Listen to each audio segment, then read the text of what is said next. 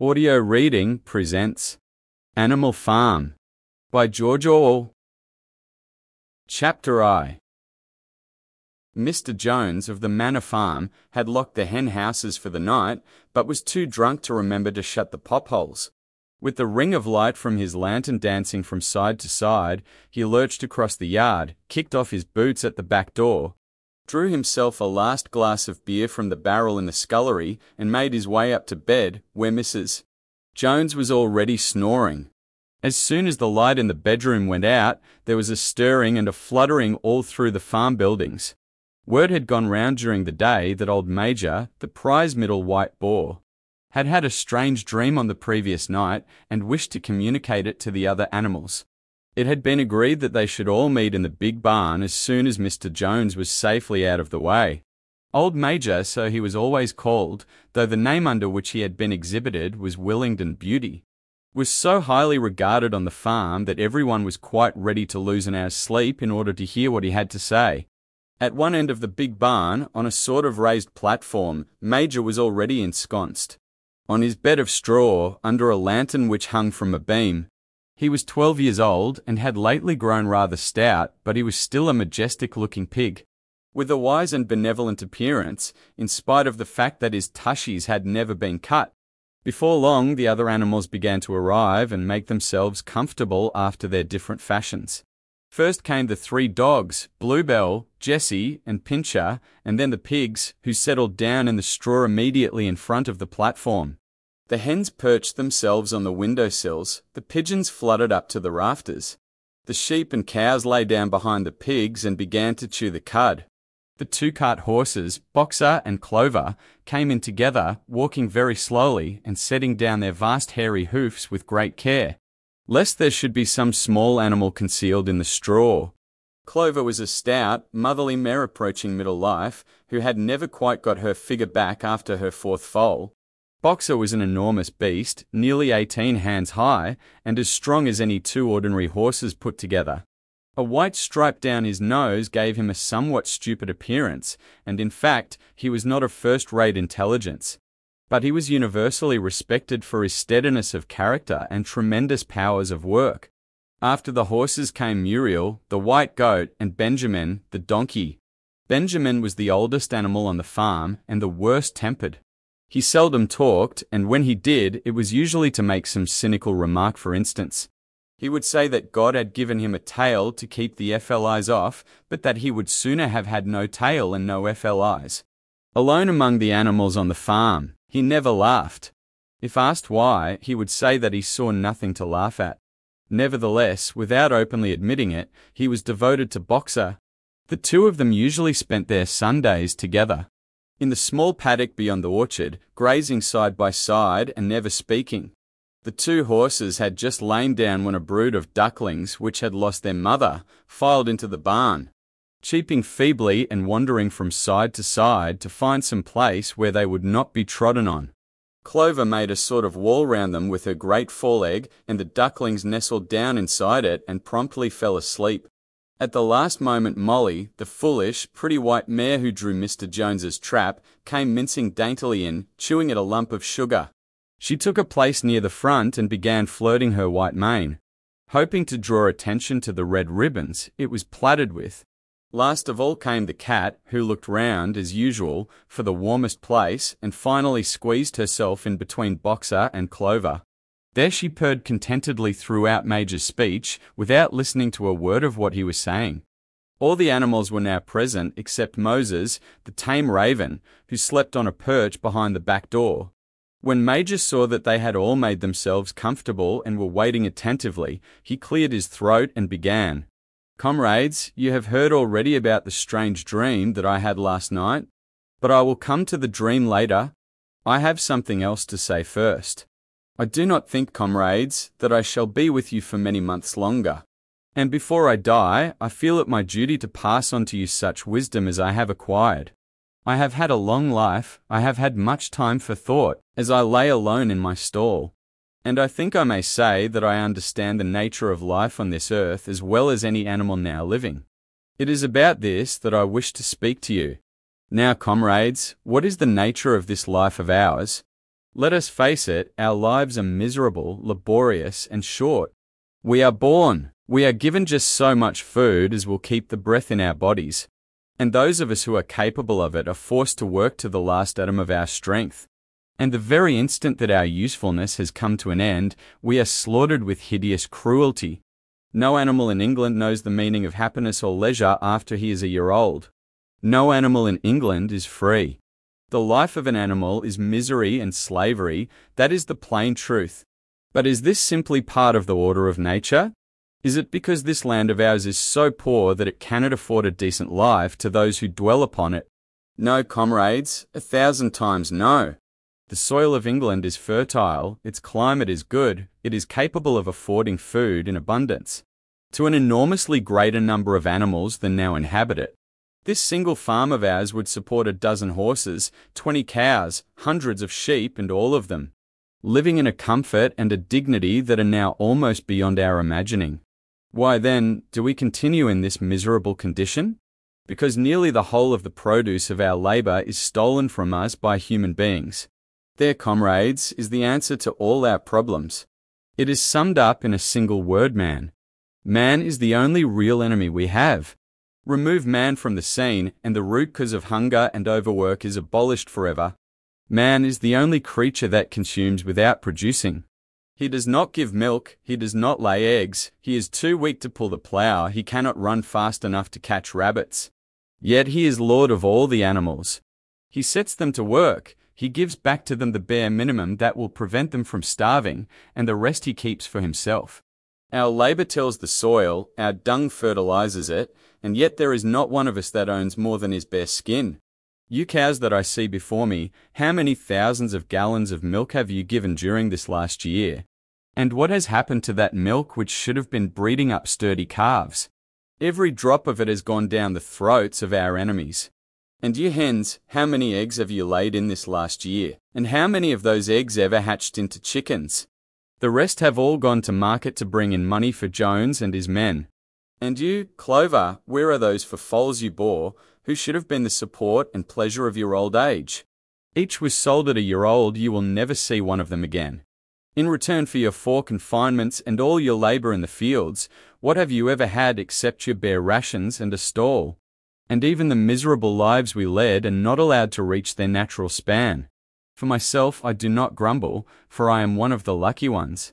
I am 12 years old and have had over 400 children. Such is the natural life of a pig. But no animal escapes the cruel knife. In the end, you young porkers who are sitting in front of me, every one of you will scream your lives out at the block within a year. To that horror we all must come cows, pigs, hens, sheep, everyone. Even the horses and the dogs have no better fate. You boxer, the very day that those great muscles of yours lose their power, Jones will sell you to the knacker, who will cut your throat and boil you down for the foxhounds. As for the dogs, when they grow old and toothless, Jones ties a brick round their necks and drowns them in the nearest pond. Is it not crystal clear, then, comrades, that all the evils of this life of ours spring from the tyranny of human beings? Only get rid of man, and the produce of our labour would be our own. Almost overnight we could become rich and free. What then must we do? Why, work night and day, body and soul, for the overthrow of the human race? That is my message to you, comrades. Rebellion, I do not know when that rebellion will come, it might be in a week or in a hundred years. But I know, as surely as I see this straw beneath my feet, that sooner or later justice will be done. Fix your eyes on that, comrades, throughout the short remainder of your lives.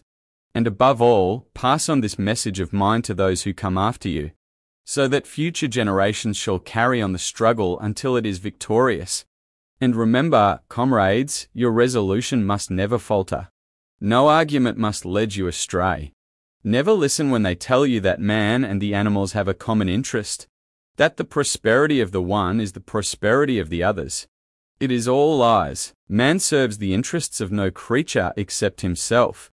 And among us animals, let there be perfect unity, perfect comradeship in the struggle. All men are enemies. All animals are comrades. At this moment there was a tremendous uproar. While Major was speaking, Four large rats had crept out of their holes and were sitting on their hindquarters, listening to him. The dogs had suddenly caught sight of them, and it was only by a swift dash for their holes that the rats saved their lives. Major raised his trotter for silence. Comrades, he said, here is a point that must be settled.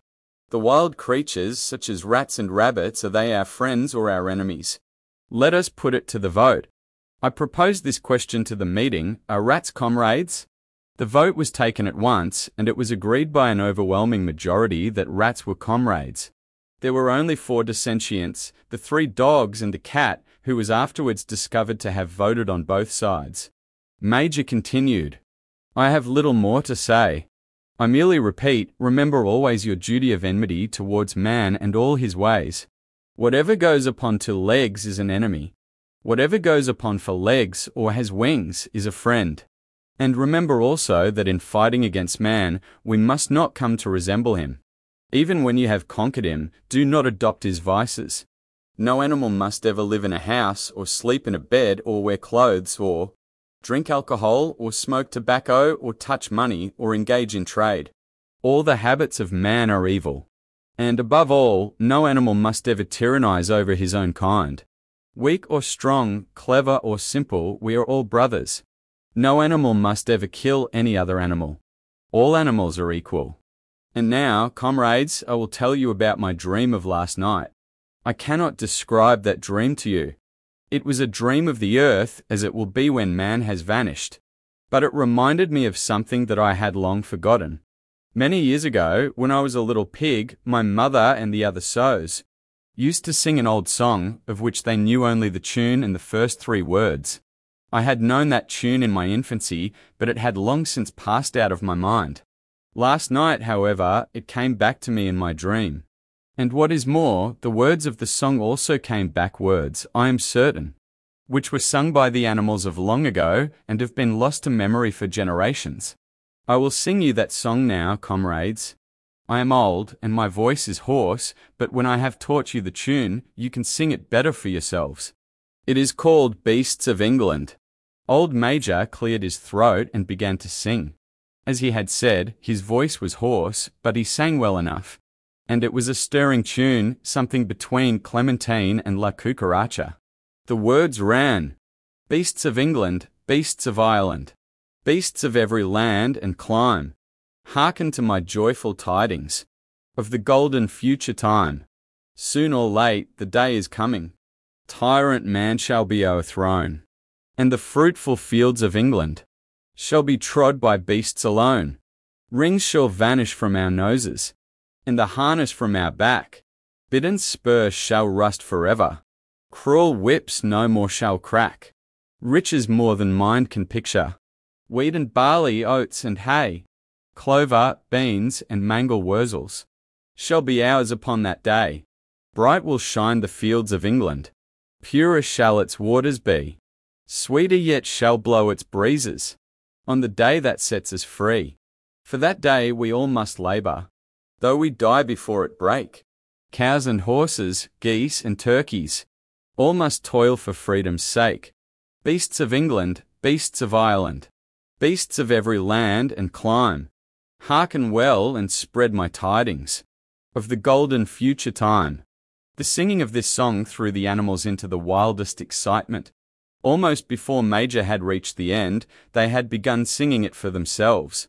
Even the stupidest of them had already picked up the tune and a few of the words. And as for the clever ones, such as the pigs and dogs, they had the entire song by heart within a few minutes.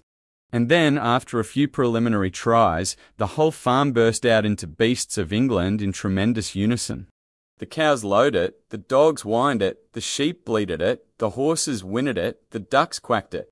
They were so delighted with the song that they sang it right through five times in succession, and might have continued singing it all night if they had not been interrupted. Unfortunately, the uproar awoke Mr. Jones, who sprang out of bed, making sure that there was a fox in the yard. He seized the gun, which always stood in a corner of his bedroom, and let fly a charge of number six shot into the darkness. The pellets buried themselves in the wall of the barn, and the meeting broke up hurriedly. Everyone fled to his own sleeping place. The birds jumped onto their perches, the animals settled down in the straw, and the whole farm was asleep in a moment. Chapter 2 Three nights later, old Major died peacefully in his sleep. His body was buried at the foot of the orchard. This was early in March. During the next three months, there was much secret activity. Major's speech had given to the more intelligent animals on the farm a completely new outlook on life. They did not know when the rebellion predicted by Major would take place. They had no reason for thinking that it would be within their own lifetime, but they saw clearly that it was their duty to prepare for it. The work of teaching and organizing the others fell naturally upon the pigs, who were generally recognized as being the cleverest of the animals. PA eminent among the pigs were two young boars named Snowball and Napoleon, whom Mr. Jones was breeding up for sale, Napoleon was a large, rather fierce looking Berkshire boar, the only Berkshire on the farm. Not much of a talker, but with a reputation for getting his own way. Snowball was a more vivacious pig than Napoleon, quicker in speech and more inventive, but was not considered to have the same depth of character. All the other male pigs on the farm were porkers. The best known among them was a small fat pig named Squealer. With very round cheeks, twinkling eyes, nimble movements, and a shrill voice. He was a brilliant talker, and when he was arguing some difficult point, he had a way of skipping from side to side and whisking his tail, which was somehow very persuasive. The others said of Squealer that he could turn black into white. These three had elaborated Old Major's teachings into a complete system of thought to which they gave the name of animalism. Several nights a week, after Mr. Jones was asleep, they held secret meetings in the barn and expounded the principles of animalism to the others. At the beginning, they met with much stupidity and apathy. Some of the animals talked of the duty of loyalty to Mr. Jones, whom they referred to as master or made elementary remarks such as Mr. Jones feeds us. If he were gone, we should starve to death. Others asked such questions as why should we care what happens after we are dead? Or if this rebellion is to happen anyway, what difference does it make whether we work for it or not? And the pigs had great difficulty in making them see that this was contrary to the spirit of animalism. The stupidest questions of all were asked by Molly, the white mare. The very first question she asked Snowball was, Will there still be sugar after the rebellion? No, said Snowball firmly. We have no means of making sugar on this farm. Besides, you do not need sugar. You will have all the oats and hay you want. And shall I still be allowed to wear ribbons in my mane? asked Molly. Comrade, said Snowball, those ribbons that you are so devoted to are the badge of slavery. Can you not understand that liberty is worth more than ribbons? Molly agreed, but she did not sound very convinced. The pigs had an even harder struggle to counteract the lies put about by Moses, the tame raven. Moses, who was Mr. Jones's especial pet, was a spy and a tale-bearer, but he was also a clever talker. He claimed to know of the existence of a mysterious country called Sugar Candy Mountain, to which all animals went when they died. It was situated somewhere up in the sky, a little distance beyond the clouds, Moses said. In Sugar Candy Mountain it was Sunday seven days a week, clover was in season, all the year round, and lump sugar and linseed cake grew on the hedges. The animals hated Moses because he told tales and did no work, but some of them believed in Sugar Candy Mountain. And the pigs had to argue very hard to persuade them that there was no such place. Their most faithful disciples were the two cart horses, Boxer and Clover. These two had great difficulty in thinking anything out for themselves. But having once accepted the pigs as their teachers, they absorbed everything that they were told and passed it on to the other animals by simple arguments. They were unfailing in their attendance at the secret meetings in the barn, and led the singing of beasts of England, with which the meetings always ended. Now, as it turned out, the rebellion was achieved much earlier and more easily than anyone had expected. In past years, Mr. Jones, although a hard master, had been a capable farmer, but of late he had fallen on evil days. He had become much disheartened after losing money in a lawsuit, and had taken to drinking more than was good for him. For whole days at a time, he would lounge in his Windsor chair in the kitchen, reading the newspapers, drinking, and occasionally feeding Moses on crusts of bread soaked in beer. His men were idle and dishonest, the fields were full of weeds. The buildings wanted roofing, the hedges were neglected, and the animals were underfed. June came, and the hay was almost ready for cutting. On Midsummer's Eve, which was a Saturday, Mr. Jones went into Willingdon, and got so drunk at the Red Lion that he did not come back till midday on Sunday. The men had milked the cows in the early morning, and then had gone out rabbiting, without bothering to feed the animals. When Mr. Jones got back, he immediately went to sleep on the drawing room sofa with the news of the world over his face, so that when evening came, the animals were still unfed. At last they could stand it no longer.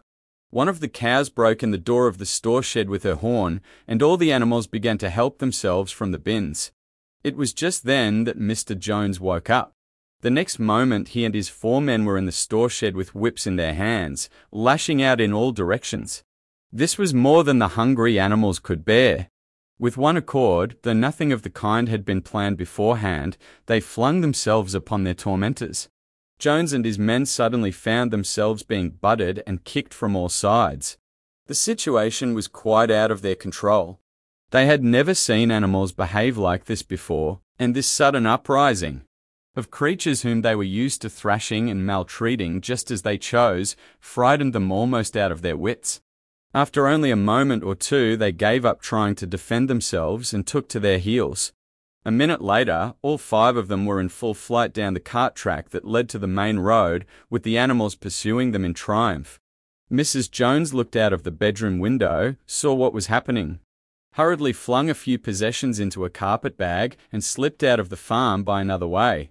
Moses sprang off his perch and flapped after her, croaking loudly. Meanwhile, the animals had chased Jones and his men out onto the road and slammed the five barred gate behind them. And so, almost before they knew what was happening, the rebellion had been successfully carried through, Jones was expelled, and the manor farm was theirs. For the first few minutes, the animals could hardly believe in their good fortune. Their first act was to gallop in a body right round the boundaries of the farm, as though to make quite sure that no human being was hiding anywhere upon it. Then they raced back to the farm buildings to wipe out the last traces of Jones's hated reign. The harness room at the end of the stables was broken open. The bits, the nose rings, the dog chains, the cruel knives with which Mr. Jones had been used to castrate the pigs and lambs were all flung down the well. The reins, the halters, the blinkers, the degrading nose bags were thrown onto the rubbish fire which was burning in the yard. So were the whips, all the animals capered with joy when they saw the whips going up in flames. Snowball also threw onto the fire the ribbons with which the horses' manes and tails had usually been decorated on market days. Ribbons, he said, should be considered as clothes which are the mark of a human being. All animals should go naked. When Boxer heard this, he fetched the small straw hat which he wore, in summer, to keep the FLIs out of his ears, and flung it onto the fire with the rest. In a very little while the animals had destroyed everything that reminded them of Mr. Jones. Napoleon then led them back to the store shed and served out a double ration of corn to everybody, with two biscuits for each dog. Then they sang Beasts of England from end to end, seven times running. And after that they settled down for the night and slept as they had never slept before. But they woke at dawn as usual, and suddenly remembering the glorious thing that had happened, they all raced out into the pasture together. A little way down the pasture there was a knoll that commanded a view of most of the farm. The animals rushed to the top of it and gazed round them in the clear morning light. Yes, it was theirs everything that they could see was theirs. In the ecstasy of that thought they gambolled round and round, they hurled themselves into the air in great leaps of excitement. They rolled in the dew, they cropped mouthfuls of the sweet summer grass, they kicked up clods of the black earth and snuffed its rich scent. Then they made a tour of inspection of the whole farm and surveyed, with speechless admiration, the ploughland, the hayfield, the orchard, the pool, the spinney. It was as though they had never seen these things before, and even now they could hardly believe that it was all their own. Then they filed back to the farm buildings and halted in silence outside the door of the farmhouse. That was theirs too, but they were frightened to go inside. After a moment, however, Snowball and Napoleon butted the door open with their shoulders, and the animals entered in single file, walking with the utmost care for fear of disturbing anything. They tiptoed from room to room, afraid to speak above a whisper and gazing with a kind of awe at the unbelievable luxury. At the beds with their feather mattresses, the looking glasses, the horsehair sofa, the Brussels carpet, the lithograph of Queen Victoria over the drawing room mantelpiece. They were just coming down the stairs when Molly was discovered to be missing. Going back, the others found that she had remained behind in the best bedroom. She had taken a piece of blue ribbon from Mrs. Jones's dressing table and was holding it against her shoulder and admiring herself in the glass in a very foolish manner. The others reproached her sharply, and they went outside. Some hams hanging in the kitchen were taken out for burial, and the barrel of beer in the scullery was stove in with a kick from Boxer's hoof, otherwise nothing in the house was touched. A unanimous resolution was passed on the spot that the farmhouse should be preserved as a museum. All were agreed that no animal must ever live there. The animals had their breakfast, and then Snowball and Napoleon called them together again. Comrades, said Snowball, it is half past six, and we have a long day before us. Today we begin the hay harvest. But there is another matter that must be attended to first. The pigs now reveal that during the past three months they had taught themselves to read and write from an old spelling book which had belonged to Mr. Jones's children and which had been thrown on the rubbish heap. Napoleon sent for pots of black and white paint and led the way down to the five barred gate that gave onto the main road. Then Snowball, for it was Snowball who was best at riding, took a brush between the two knuckles of his trotter, painted out Manor Farm from the top bar of the gate, and in its place painted Animal Farm. This was to be the name of the farm from now onwards. After this, they went back to the farm buildings, where Snowball and Napoleon sent for a ladder which they caused to be set against the end wall of the big barn.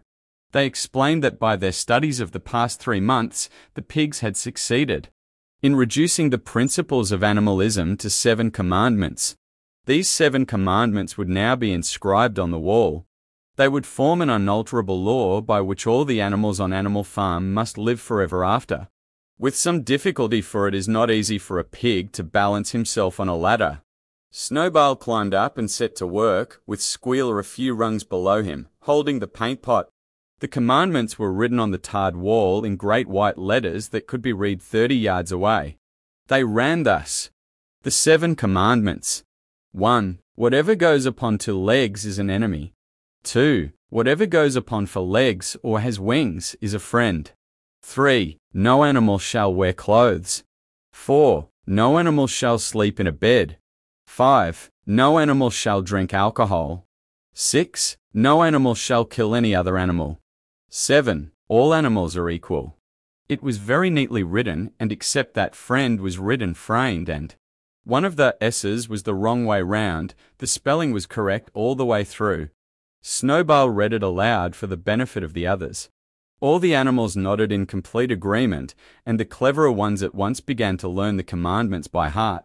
Now, comrades, cried Snowball, throwing down the paintbrush to the hayfield. Let us make it a point of honour to get in the harvest more quickly than Jones and his men could do. But at this moment the three cows, who had seemed uneasy for some time past, set up a loud lowing. They had not been milked for twenty four hours, and their udders were almost bursting. After a little thought, the pigs sent for buckets and milked the cows fairly successfully, their trotters being well adapted to this task. Soon there were five buckets of frothing creamy milk, at which many of the animals looked with considerable interest. What is going to happen to all that milk? said someone. Jones used sometimes to mix some of it in our mash, said one of the hens. Never mind the milk, comrades, cried Napoleon, placing himself in front of the buckets. That will be attended to. The harvest is more important. Comrade Snowball will lead the way. I shall follow in a few minutes. Forward, comrades, the hay is waiting. So the animals trooped down to the hayfield to begin the harvest. And when they came back in the evening, it was noticed that the milk had disappeared. Chapter 3 How they toiled and sweated to get the hay in. But their efforts were rewarded, for the harvest was an even bigger success than they had hoped. Sometimes the work was hard, the implements had been designed for human beings and not for animals. And it was a great drawback that no animal was able to use any tool that involved standing on his hind legs. But the pigs were so clever that they could think of a way round every difficulty. As for the horses, they knew every inch of the field and, in fact, understood the business of mowing and raking far better than Jones and his men had ever done. The pigs did not actually work, but directed and supervised the others. With their superior knowledge, it was natural that they should assume the leadership. Boxer and Clover would harness themselves to the cutter or the horse rake no bits or reins were needed in these days, of course, and tramp steadily round and round the field, with a pig walking behind and calling out, Gee up, comrade, or Whoa, back, comrade. As the case might be, and every animal down to the humblest worked at turning the hay and gathering it. Even the ducks and hens toiled to and fro all day in the sun, carrying tiny wisps of hay in their beaks. In the end, they finished the harvest in two days less time than it had usually taken Jones and his men. Moreover, it was the biggest harvest that the farm had ever seen. There was no wastage whatever. The hens and ducks, with their sharp eyes, had gathered up the very last stalk, and not an animal on the farm had stolen so much as a mouthful. All through that summer, the work of the farm went like clockwork. The animals were happy as they had never conceived it possible to be.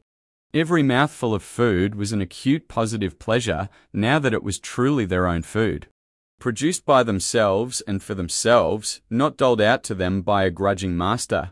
With the worthless, parasitical human beings gone, there was more for everyone to eat. There was more leisure too, inexperienced though the animals were. They met with many difficulties, for instance, later in the year. When they harvested the corn, they had to tread it out in the ancient style and blow away the chaff with their breath.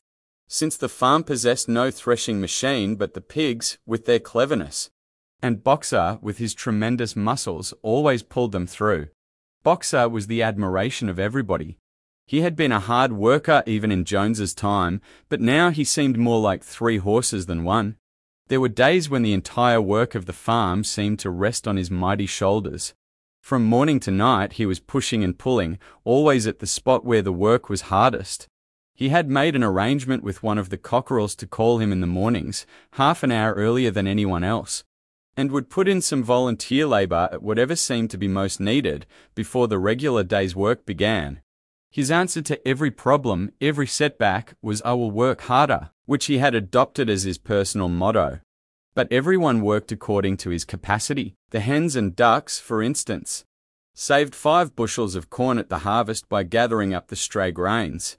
Nobody stole, nobody grumbled over his rations, the quarrelling and Biting and jealousy, which had been normal features of life in the old days, had almost disappeared.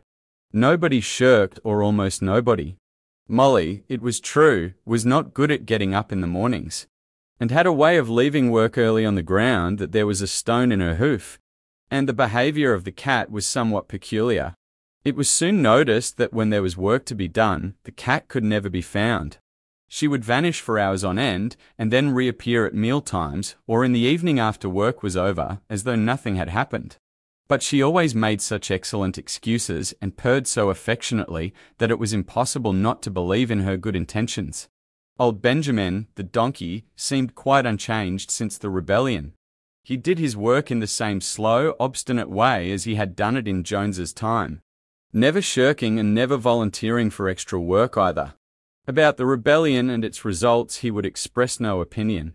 When asked whether he was not happier now that Jones was gone, he would say only donkeys live a long time. None of you has ever seen a dead donkey, and the others had to be content with this cryptic answer. On Sundays, there was no work. Breakfast was an hour later than usual, and after breakfast, there was a ceremony which was observed every week without fail. First came the hoisting of the flag, Snowball had found in the harness room an old green tablecloth of Mrs. Jones's and had painted on it a hoof and a horn in white. This was run up the flagstaff in the farmhouse garden every Sunday morning. The flag was green, Snowball explained, to represent the green fields of England, while the hoof and horn signified the future republic of the animals which would arise when the human race had been finally overthrown. After the hoisting of the flag, all the animals trooped into the big barn for a general assembly, which was known as the meeting. Here the work of the coming week was planned out, and resolutions were put forward and debated. It was always the pigs who put forward the resolutions. The other animals understood how to vote, but could never think of any resolutions of their own. Snowball and Napoleon were by far the most active in the debates. But it was noticed that these two were never in agreement. Whatever suggestion either of them made, the other could be counted on to oppose it. Even when it was resolved a thing no one could object to in itself, to set aside the small paddock behind the orchard as a home of rest for animals who were past work. There was a stormy debate over the correct retiring age for each class of animal. The meeting always ended with the singing of Beasts of England, and the afternoon was given up to recreation. The pigs had set aside the harness room as a headquarters for themselves. Here, in the evenings, they studied blacksmithing, carpentering, and other necessary arts from books which they had brought out of the farmhouse. Snowball also busied himself with organizing the other animals into what he called animal committees. He was indefatigable at this. He formed the Egg Production Committee for the hens, the Clean Tails League for the cows, the Wild Comrades Ray. Education Committee The object of this was to tame the rats and rabbits, the whiter wool movement for the sheep, and various others, besides instituting classes in reading and writing. On the whole, these projects were a failure. The attempt to tame the wild creatures, for instance, broke down almost immediately. They continued to behave very much as before, and when treated with generosity, simply took advantage of it. The cat joined the Re-education Committee and was very active in it for some days. She was seen one day sitting on a roof and talking to some sparrows who were just out of her reach. She was telling them that all animals were now comrades, and that any sparrow who chose could come and perch on her paw. But the sparrows kept their distance. The reading and writing classes, however, were a great success. By the autumn, almost every animal on the farm was literate in some degree. As for the pigs, they could already read and write perfectly. The dogs learned to read fairly well, but were not interested in reading anything except the Seven Commandments. Muriel, the goat, could read somewhat better than the dogs and sometimes used to read to the others in the evenings from scraps of newspaper which she found on the rubbish heap. Benjamin could read as well as any pig, but never exercised his faculty. So far as he knew, he said, there was nothing worth reading. Clover learnt the whole alphabet, but could not put words together. Boxer could not get beyond the letter D. He would trace out A, B, C, D in the dust with his great hoof and then would stand staring at the letters with his ears back, sometimes shaking his forelock, trying with all his might to remember what came next and never succeeding. On several occasions, indeed, he did learn E, F, G, H, but by the time he knew them, it was always discovered that he had forgotten A, B, C, and D. Finally, he decided to be content with the first four letters and used to write them out once or twice every day to refresh his memory. Molly refused to learn any but the six letters which spelt her own name. She would form these very neatly out of pieces of twig and would then decorate them with a flower or two and walk round them admiring them. None of the other animals on the farm could get further than the letter A. It was also found that the stupider animals, such as the sheep, hens, and ducks, were unable to learn the seven commandments by heart. After much thought, Snowball declared that the seven commandments, could in effect be reduced to a single maxim, namely, four legs good, two legs bad. This, he said, contained the essential principle of animalism. Whoever had thoroughly grasped it would be safe from human influences. The birds at first objected, since it seemed to them that they also had two legs, but Snowball proved to them that this was not so. A bird's wing, comrades, he said, is an organ of propulsion and not of manipulation. It should therefore be regarded as a leg. The distinguishing mark of man is the hand, the instrument with which he does all his mischief. The birds did not understand Snowball's long words, but they accepted his explanation. And all the humbler animals set to work to learn the new maxim by heart. Four legs good, two legs bad was inscribed on the end wall of the barn. Above the seven commandments, and in bigger letters, when they had once got it by heart, the sheep developed a great liking for this maxim and often as they lay in the field, they would all start bleeding. Four legs good, two legs bad. Four legs good, two legs bad, and keep it up for hours on end, never growing tired of it. Napoleon took no interest in Snowball's committees. He said that the education of the young was more important than anything that could be done for those who were already grown up. It happened that Jessie and Bluebell had both whelped soon after the hay harvest, giving birth between them to nine sturdy puppies. As soon as they were weaned, Napoleon took them away from their mothers, saying that he would make himself responsible for their education. He took them up into a loft, which could only be reached by a ladder from the harness room, and there kept them in such seclusion that the rest of the farm soon forgot their existence. The mystery of where the milk went to was soon cleared up. It was mixed every day into the pig's mash. The early apples were now ripening, and the grass of the orchard was littered with windfalls. The animals had assumed, as a matter of course, that these would be shared out equally. One day, however, the order went forth that all the windfalls were to be collected and brought to the harness room for the use of the pigs. At this, some of the other animals murmured, but it was no use. All the pigs were in full agreement on this point, even Snowball and Napoleon. Squealer was sent to make the necessary explanations to the others. Comrades, he cried, you do not imagine, I hope, that we pigs are doing this in a spirit of selfishness and privilege. Many of us actually dislike milk and apples. I dislike them myself. Our sole object in taking these things is to preserve our health. Milk and apples, this has been proved by science, comrades contain substances absolutely necessary to the well being of a pig. We pigs are brain workers. The whole management and organization of this farm depend on us. Day and night we are watching over your welfare. It is for your sake that we drink that milk and eat those apples. Do you know what would happen if we pigs failed in our duty? Jones would come back. Yes, Jones would come back. Surely, comrades, cried Squealer, almost pleadingly, skipping from side to side and whisking his tail. Surely there is no one among you who wants to see Jones come back? Now, if there was one thing that the animals were completely certain of, it was that they did not want Jones back. When it was put to them in this light, they had no more to say. The importance of keeping the pigs in good health was all too obvious. So it was agreed without further argument that the milk and the windfall apples, and also the main crop of apples when they ripened, should be reserved for the pigs alone.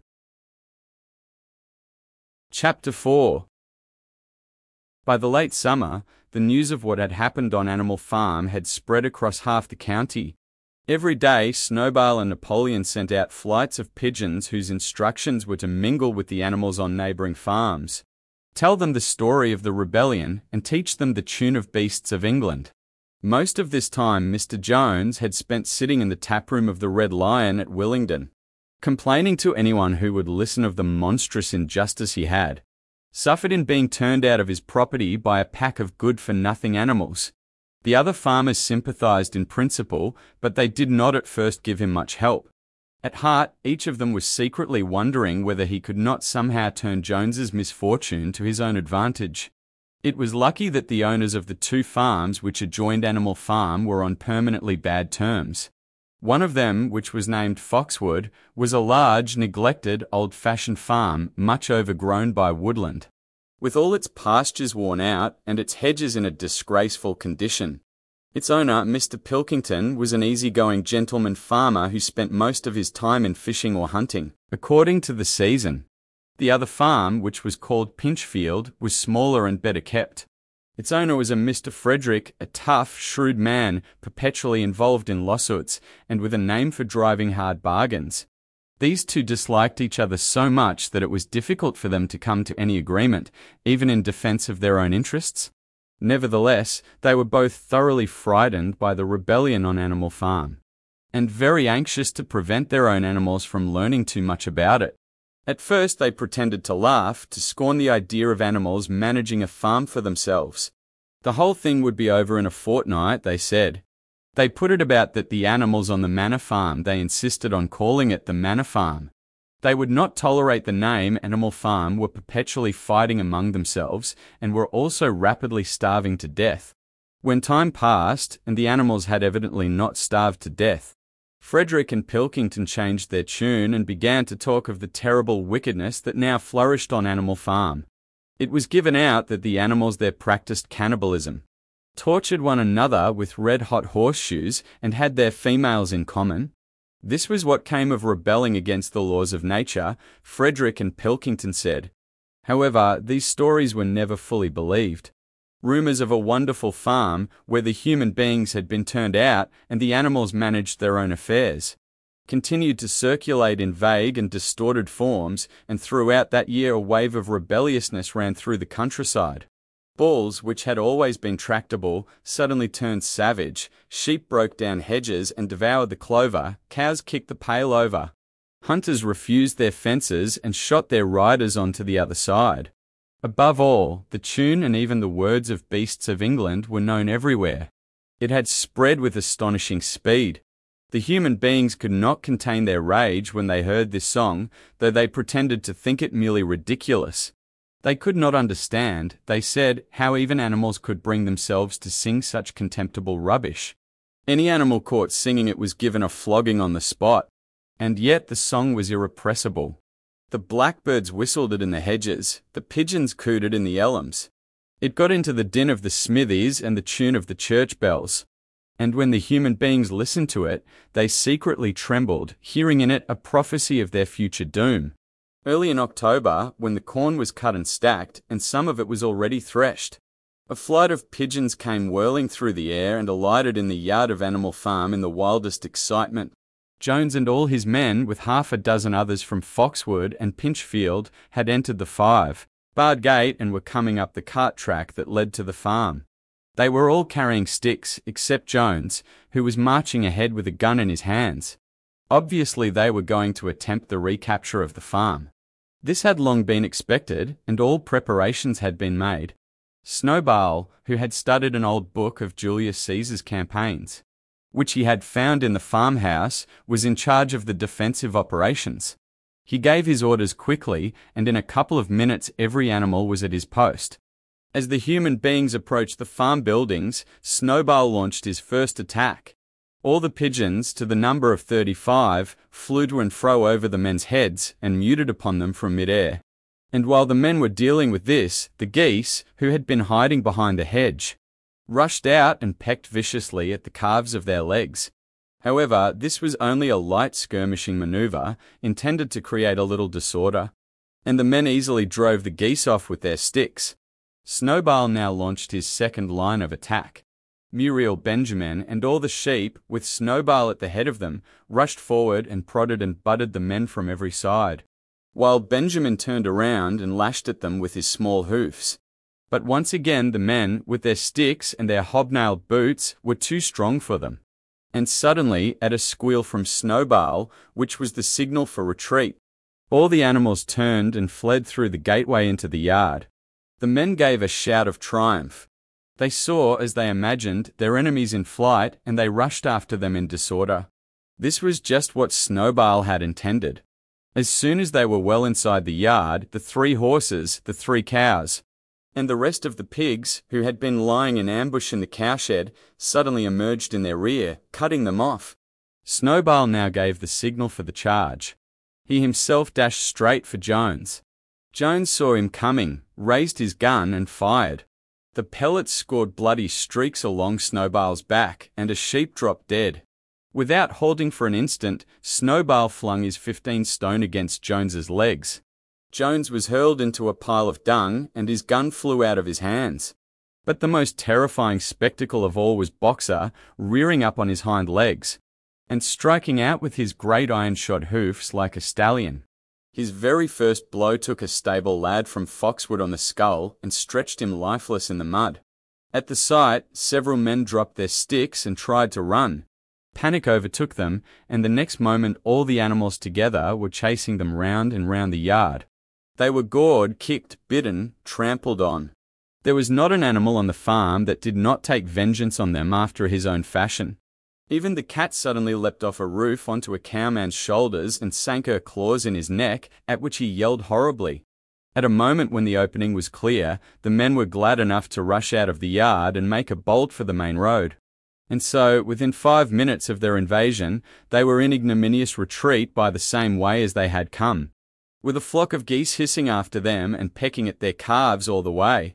All the men were gone except one, Back in the yard, Boxer was pawing with his hoof at the stable lad, who lay face down in the mud, trying to turn him over. The boy did not stir.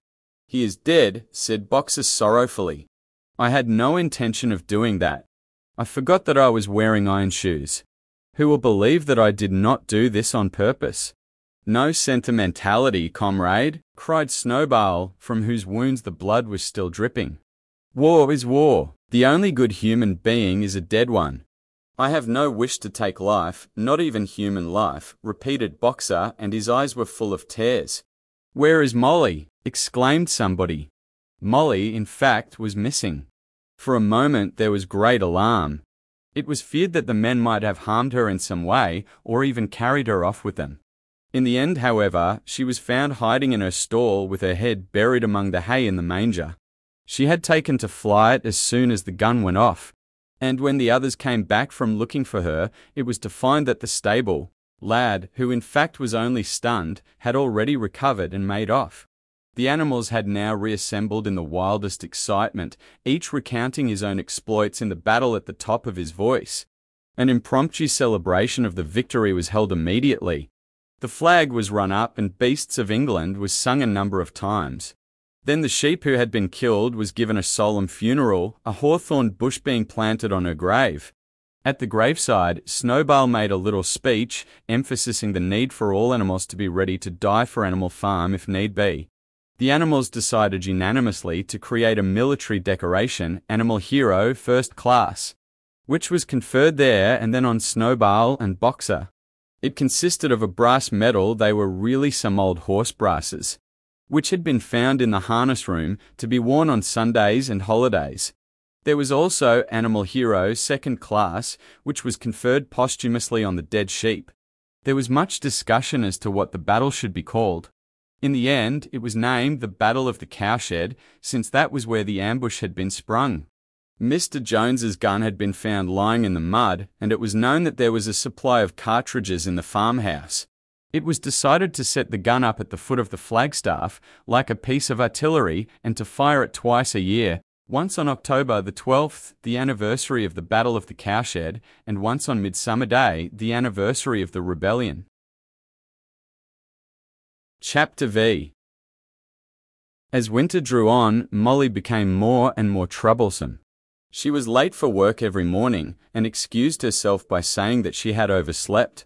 And she complained of mysterious pains, although her appetite was excellent. On every kind of pretext, she would run away from work and go to the drinking pool, where she would stand foolishly gazing at her own reflection in the water. But there were also rumors of something more serious. One day, as Molly strolled blithely into the yard, flirting her long tail and chewing at a stalk of hay, Clover took her aside. Molly, she said, I have something very serious to say to you. This morning I saw you looking over the hedge that divides Animal Farm from Foxwood. One of Mr. Pilkington's men was standing on the other side of the hedge. And I was a long way away, but I am almost certain I saw this he was talking to you, and you were allowing him to stroke your nose. What does that mean, Molly? He didn't. I wasn't. It isn't true, cried Molly, beginning to prance about and paw the ground. Molly, look me in the face. Do you give me your word of honor that that man was not stroking your nose? It isn't true, repeated Molly, but she could not look Clover in the face. And the next moment she took to her heels and galloped away into the field. A thought struck Clover. Without saying anything to the others, she went to Molly's stall and turned over the straw with her hoof.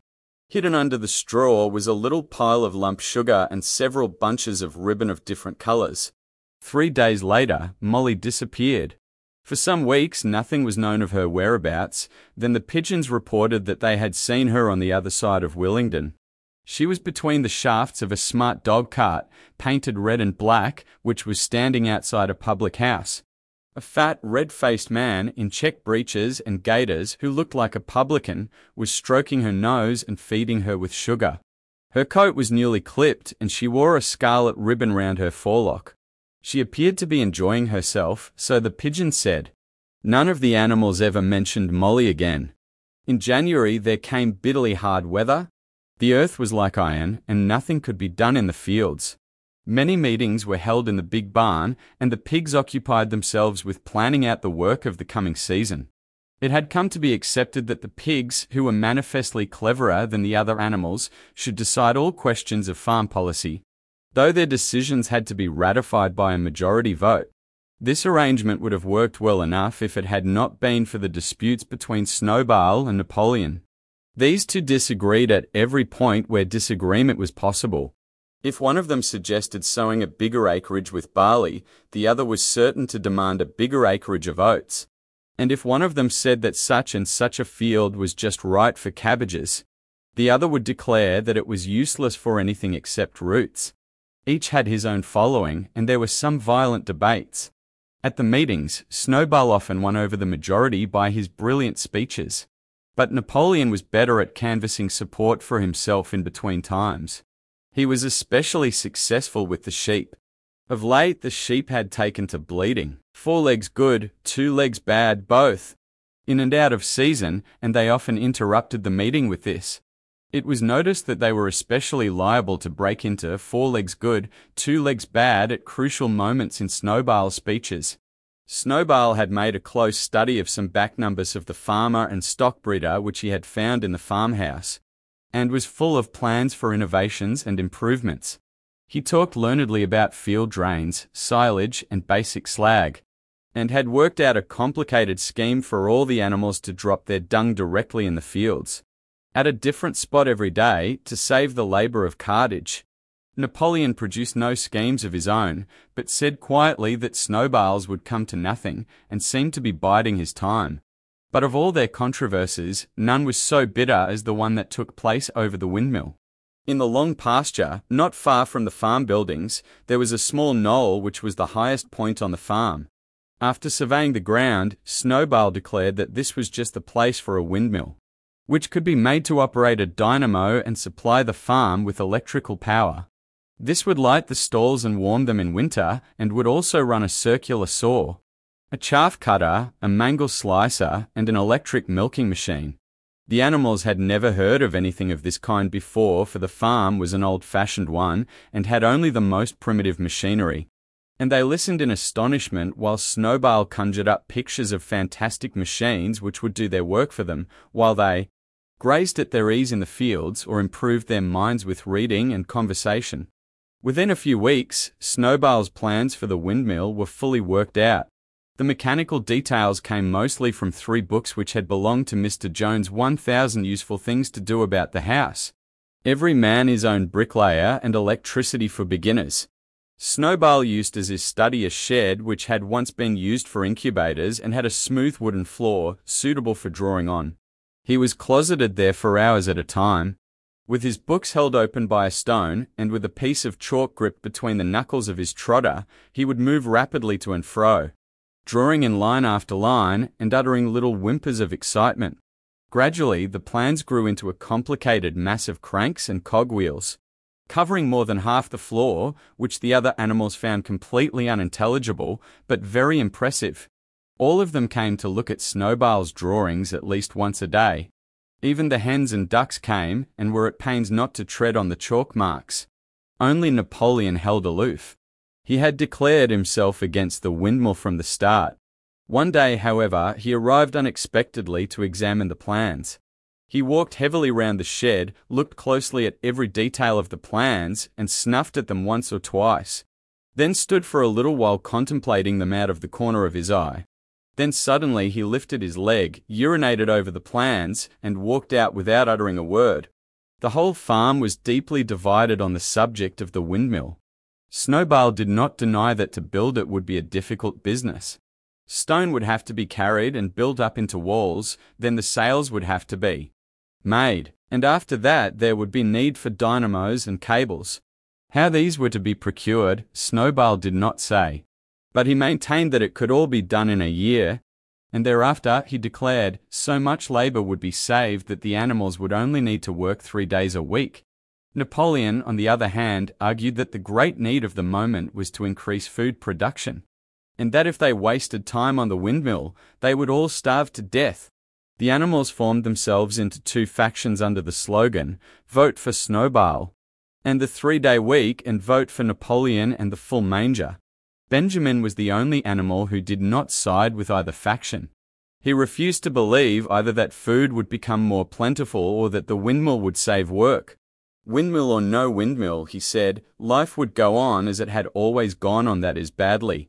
Apart from the disputes over the windmill, there was the question of the defense of the farm. It was fully realized that though the human beings had been defeated in the Battle of the Cowshed, they might make another and more determined attempt to recapture the farm and reinstate Mr. Jones.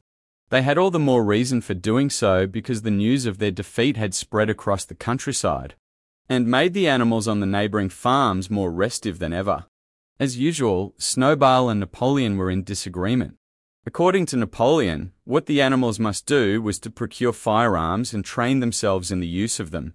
According to Snowball, they must send out more and more pigeons and stir up rebellion among the animals on the other farms. The one argued that if they could not defend themselves, they were bound to be conquered. The other argued that if rebellions happened everywhere, they would have no need to defend themselves. The animals listened first to Napoleon, then to Snowball, and could not make up their minds which was right. Indeed, they always found themselves in agreement with the one who was speaking at the moment. At last, the day came when Snowball's plans were completed. At the meeting on the following Sunday, the question of whether or not to begin work on the windmill was to be put to the vote. When the animals had assembled in the big barn, Snowball stood up and, though occasionally interrupted by bleating from the sheep, set forth his reasons for advocating the building of the windmill. Then Napoleon stood up to reply. He said very quietly that the windmill was nonsense and that he advised nobody to vote for it and promptly sat down again. He had spoken for barely 30 seconds and seemed almost indifferent as to the effect he produced. At this Snowball sprang to his feet and shouting down the sheep, who had begun bleating again, broke into a passionate appeal in favour of the windmill. Until now, the animals had been about equally divided in their sympathies, but in a moment Snowball's eloquence had carried them away. In glowing sentences, he painted a picture of Animal Farm as it might be when sordid labour was lifted from the animals' backs. His imagination had now run far beyond chaff cutters and turnip slicers. Electricity, he said, could operate threshing machines, ploughs, harrows, rollers, and reapers and binders. Besides supplying every stall with its own electric light, hot and cold water, and an electric heater. By the time he had finished speaking, there was no doubt as to which way the vote would go. But just at this moment Napoleon stood up, and casting a peculiar sidelong look at Snowball, uttered a high-pitched whimper of a kind no one had ever heard him utter before. At this there was a terrible baying sound outside, and nine enormous dogs wearing brass-studded collars came bounding into the barn. They dashed straight for Snowball, who only sprang from his place just in time to escape their snapping jaws. In a moment he was out of the door, and they were after him. Too amazed and frightened to speak, all the animals crowded through the door to watch the chase. Snowball was racing across the long pasture that led to the road. He was running as only a pig can run, but the dogs were close on his heels. Suddenly he slipped, and it seemed certain that they had him. Then he was up again, running faster than ever, then the dogs were gaining on him again. One of them all but closed his jaws on Snowball's tail, but Snowball whisked it free just in time. Then he put on an extra spurt and with a few inches to spare, slipped through a hole in the hedge and was seen no more. Silent and terrified, the animals crept back into the barn. In a moment the dogs came bounding back. At first, no one had been able to imagine where these creatures came from. But the problem was soon solved. They were the puppies whom Napoleon had taken away from their mothers and reared privately.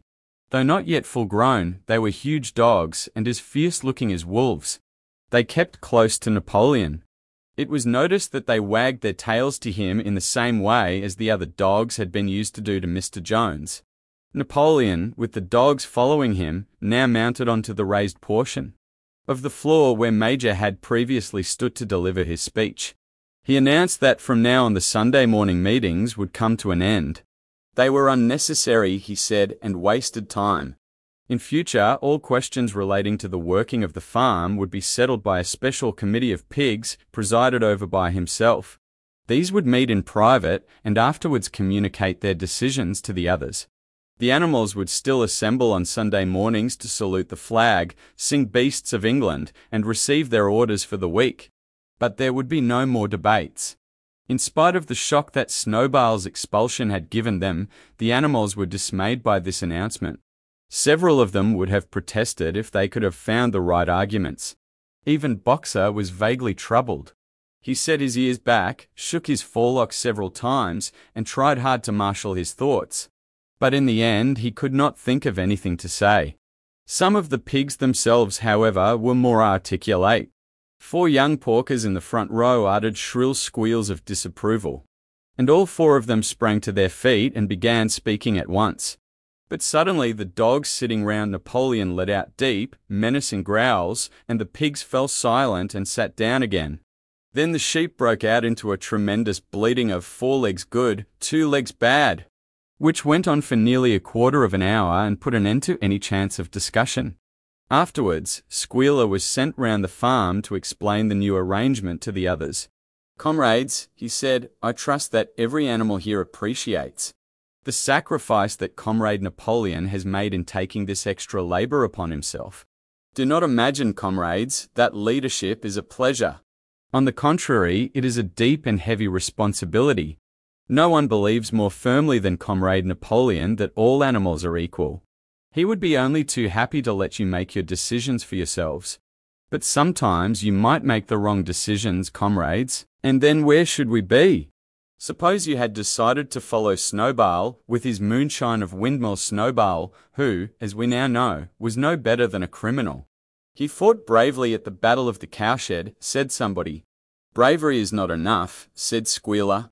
Loyalty and obedience are more important.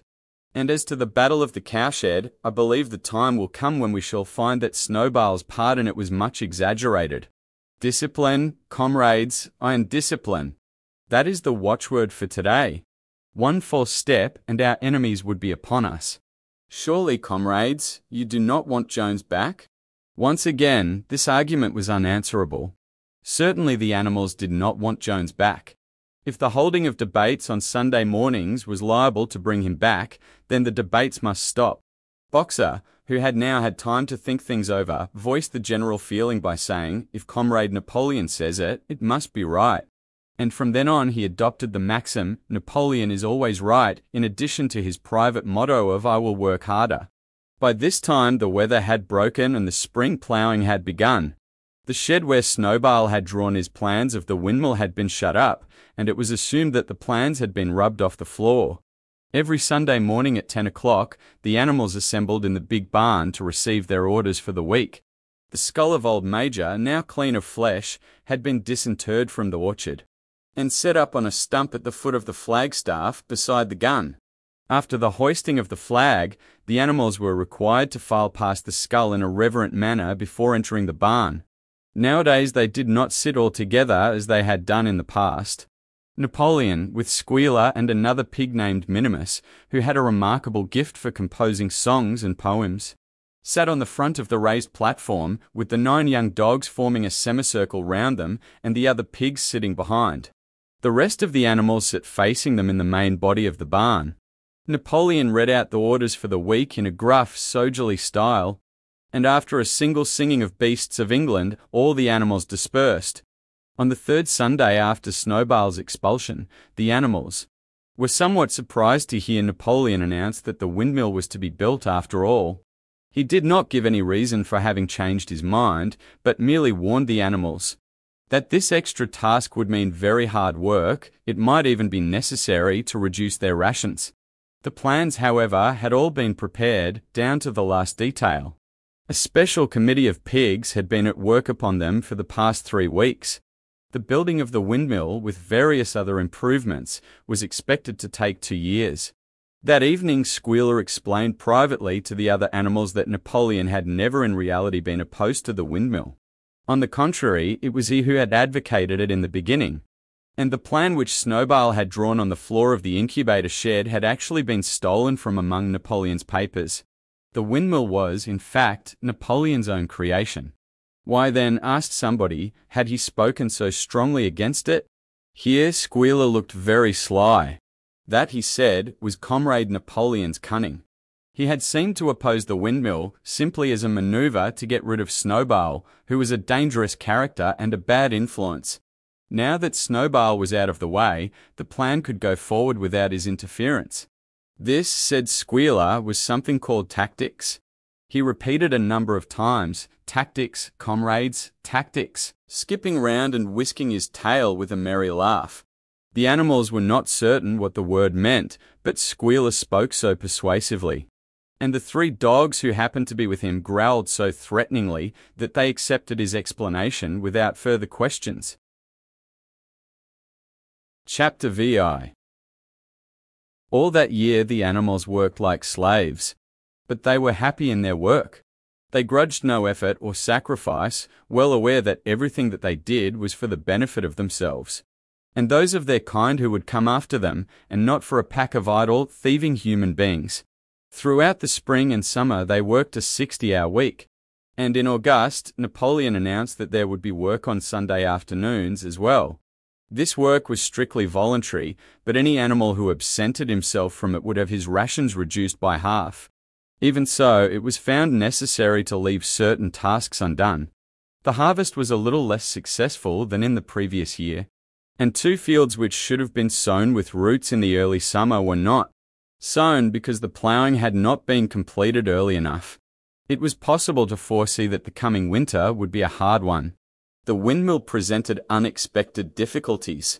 There was a good quarry of limestone on the farm, and plenty of sand and cement had been found in one of the outhouses, so that all the materials for building were at hand. But the problem the animals could not at first solve was how to break up the stone into pieces of suitable size. There seemed no way of doing this except with picks and crowbars, which no animal could use because no animal could stand on his hind legs. Only after weeks of vain effort did the right idea occur to somebody, namely, to utilize the force of gravity. Huge boulders, far too big to be used as they were, were lying all over the bed of the quarry. The animals lashed ropes round these, and then all together, cows, horses, sheep, any animal that could lay hold of the rope. Even the pigs sometimes joined in at critical moments. They dragged them with desperate slowness up the slope to the top of the quarry, where they were toppled over the edge to shatter to pieces below. Transporting the stone when it was once broken was comparatively simple. The horses carried it off in cart loads, the sheep dragged single blocks, even Muriel and Benjamin yoked themselves into an old governess cart and did their share.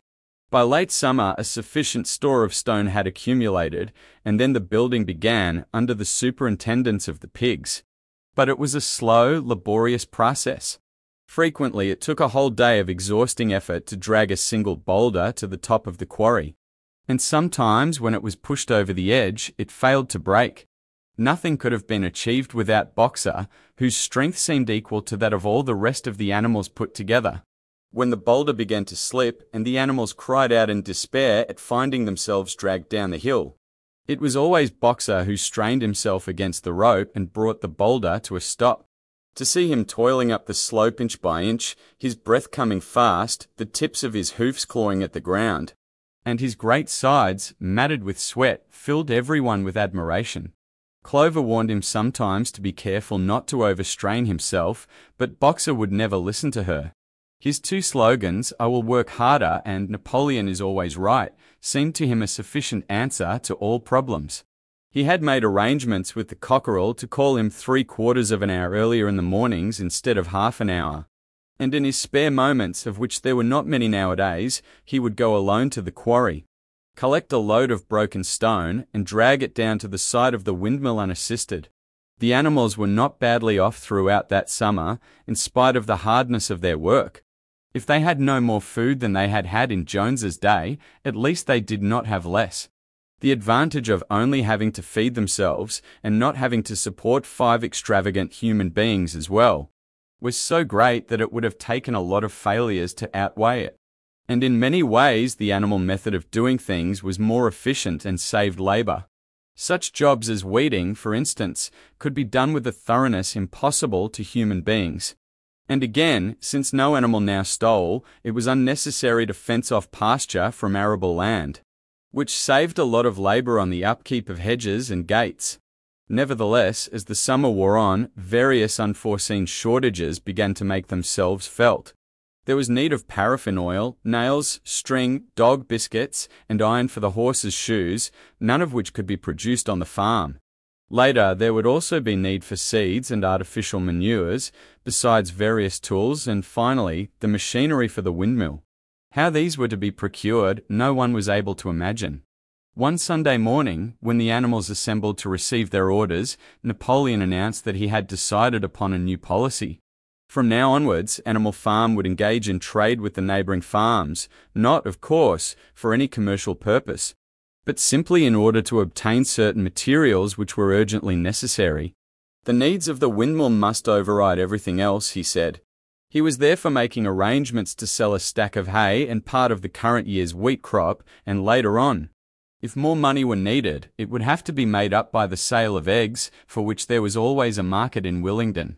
The hens, said Napoleon, should welcome this sacrifice as their own special contribution towards the building of the windmill. Once again, the animals were conscious of a vague uneasiness. Never to have any dealings with human beings, never to engage in trade, never to make use of money. Had not these been among the earliest resolutions passed at that first triumphant meeting after Jones was expelled? All the animals remembered passing such resolutions, or at least they thought that they remembered it. The four young pigs who had protested when Napoleon abolished the meetings raised their voices timidly, but they were promptly silenced by a tremendous growling from the dogs. Then, as usual, the sheep broke into four legs good to legs bad, and the momentary awkwardness was smoothed over. Finally, Napoleon raised his trotter for silence and announced that he had already made all the arrangements. There would be no need for any of the animals to come in contact with human beings, which would clearly be most undesirable. He intended to take the whole burden upon his own shoulders. A Mr. Whymper, a solicitor living in Willingdon, had agreed to act as intermediary between Animal Farm and the outside world, and would visit the farm every Monday morning to receive his instructions. Napoleon ended his speech with his usual cry of Long live Animal Farm. And after the singing of Beasts of England, the animals were dismissed. Afterwards, Squealer made a round of the farm and set the animals' minds at rest. He assured them that the resolution against engaging in trade and using money had never been passed or even suggested. It was pure imagination, probably traceable in the beginning to lies circulated by Snowball. A few animals still felt faintly doubtful, but Squealer asked them shrewdly, are you certain that this is not something that you have dreamed, comrades? Have you any record of such a resolution? Is it written down anywhere? And since it was certainly true that nothing of the kind existed in writing, the animals were satisfied that they had been mistaken. Every Monday, Mr. Whymper visited the farm as had been arranged. He was a sly looking little man with side whiskers, a solicitor in a very small way of business but sharp enough to have realized earlier than anyone else that Animal Farm would need a broker and that the commissions would be worth having. The animals watched his coming and going with a kind of dread and avoided him as much as possible. Nevertheless, the sight of Napoleon on all fours, delivering orders to Whymper, who stood on two legs, roused their pride and partly reconciled them to the new arrangement. Their relations with the human race were now not quite the same as they had been before. The human beings did not hate Animal Farm any less now that it was prospering. Indeed, they hated it more than ever. Every human being held it as an article of faith that the farm would go bankrupt. Sooner or later, and above all, that the windmill would be a failure. They would meet in the public houses and prove to one another by means of diagrams that the windmill was bound to fall down, or that, if it did stand up, then that it would never work. And yet, against their will, they had developed a certain respect for the efficiency with which the animals were managing their own affairs. One symptom of this was that they had begun to call Animal Farm by its proper name and ceased to pretend that it was called the Manor Farm. They had also dropped their championship of Jones, who had given up hope of getting his farm back and gone to live in another part of the county. Except through Whymper, there was as yet no contact between Animal Farm and the outside world. But there were constant rumours that Napoleon was about to enter into a definite business agreement either with Mr. Pilkington of Foxwood or with Mr. Frederick of Pinchfield, but never, it was noticed, with both simultaneously. It was about this time that the pigs suddenly moved into the farmhouse and took up their residence there. Again, the animals seemed to remember that a resolution against this had been passed in the early days. And again, Squealer was able to convince them that this was not the case. It was absolutely necessary, he said, that the pigs, who were the brains of the farm, should have a quiet place to work in. It was also more suited to the dignity of the leader for of late he had taken. To speaking of Napoleon under the title of leader to live in a house than in a mere sty. Nevertheless, some of the animals were disturbed when they heard that the pigs not only took their meals in the kitchen, and used the drawing room as a recreation room, but also slept in the beds. Boxer passed it off as usual with Napoleon is always right, but Clover, who thought she remembered a definite ruling against beds, went to the end of the barn and tried to puzzle out the seven commandments which were inscribed there. Finding herself unable to read more than individual letters, she fetched Muriel. Muriel, she said, read me the fourth commandment. Does it not say something about never sleeping in a bed? With some difficulty, Muriel spelt it out. It says, No animal shall sleep in a bed with sheets, she announced. Finally, curiously enough, Clover had not remembered that the fourth commandment mentioned sheets. But as it was there on the wall, it must have done so and Squealer, who happened to be passing at this moment, attended by two or three dogs, was able to put the whole matter in its proper perspective. You have heard then, comrades, he said, that we pigs now sleep in the beds of the farmhouse? And why not? You did not suppose, surely, that there was ever a ruling against beds? A bed merely means a place to sleep in. A pile of straw in a stall is a bed, properly regarded. The rule was against sheets, which are a human invention. We have removed the sheets from the farmhouse, beds, and sleep between blankets. And very comfortable beds they are, too. But not more comfortable than we need, I can tell you, comrades, with all the brain work we have to do nowadays. You would not rob us of our repose, would you, comrades? You would not have us too tired to carry out our duties? Surely none of you wishes to see Jones back? The animals reassured him on this point immediately, and no more was said about the pigs sleeping in the farmhouse beds. And when, some days afterwards, it was announced that from now on the pigs would get up an hour later, in the mornings than the other animals, no complaint was made about that either. By the autumn, the animals were tired but happy. They had had a hard year, and after the sale of part of the hay and corn, the stores of food for the winter were none too plentiful, but the windmill compensated for everything. It was almost half built. Now, after the harvest, there was a stretch of clear, dry weather, and the animals toiled harder than ever, thinking it well worth while to plod to and fro all day with blocks of stone, if by doing so they could raise the walls another foot. Boxer would even come out at nights and work for an hour or two on his own by the light of the harvest moon. In their spare moments, the animals would walk round and round the half finished mill, admiring the strength and perpendicularity of its walls, and marveling that they should ever have been able to build anything so imposing. Only old Benjamin refused to grow enthusiastic about the windmill, though, as usual. He would utter nothing beyond the cryptic remark that donkeys live a long time. November came with raging southwest winds. Building had to stop because it was now too wet to mix the cement. Finally, there came a night when the gale was so violent that the farm buildings rocked on their foundations, and several tiles were blown off the roof of the barn. The hens woke up squawking with terror because they had all dreamed simultaneously of hearing a gun go off in the distance. In the morning, the animals came out of their stalls to find that the flagstaff had been blown down and an elm tree at the foot of the orchard had been plucked up like a radish. They had just noticed this when a cry of despair broke from every animal's throat. A terrible sight had met their eyes. The windmill was in ruins. With one accord, they dashed down to the spot. Napoleon, who seldom moved out of a walk, raced ahead of them all. Yes, there it lay, the fruit of all their struggles, levelled to its foundations. The stones they had broken and carried so laboriously scattered all around. Unable at first to speak, they stood gazing mournfully at the litter of fallen stone. Napoleon paced to and fro in silence, occasionally snuffing at the ground. His tail had grown rigid and twitched sharply from side to side, a sign in him of intense mental activity. Suddenly he halted as though his mind were made up. Comrades, he said quietly, do you know who is responsible for this? Do you know the enemy who has come in the night and overthrown our windmill? Snowball, he suddenly roared in a voice of thunder. Snowball has done this thing.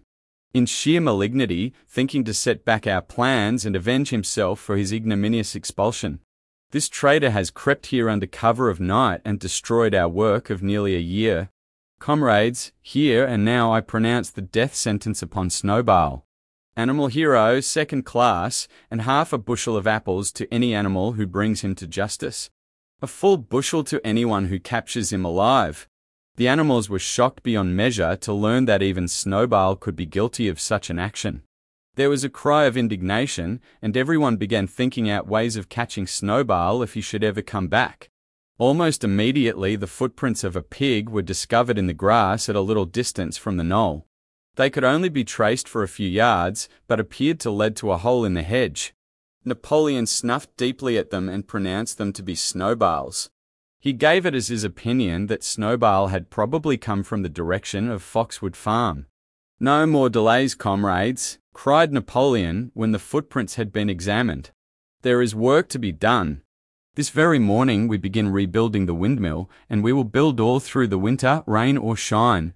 We will teach this miserable traitor that he cannot undo our work so easily. Remember, comrades, there must be no alteration in our plans, they shall be carried out to the day.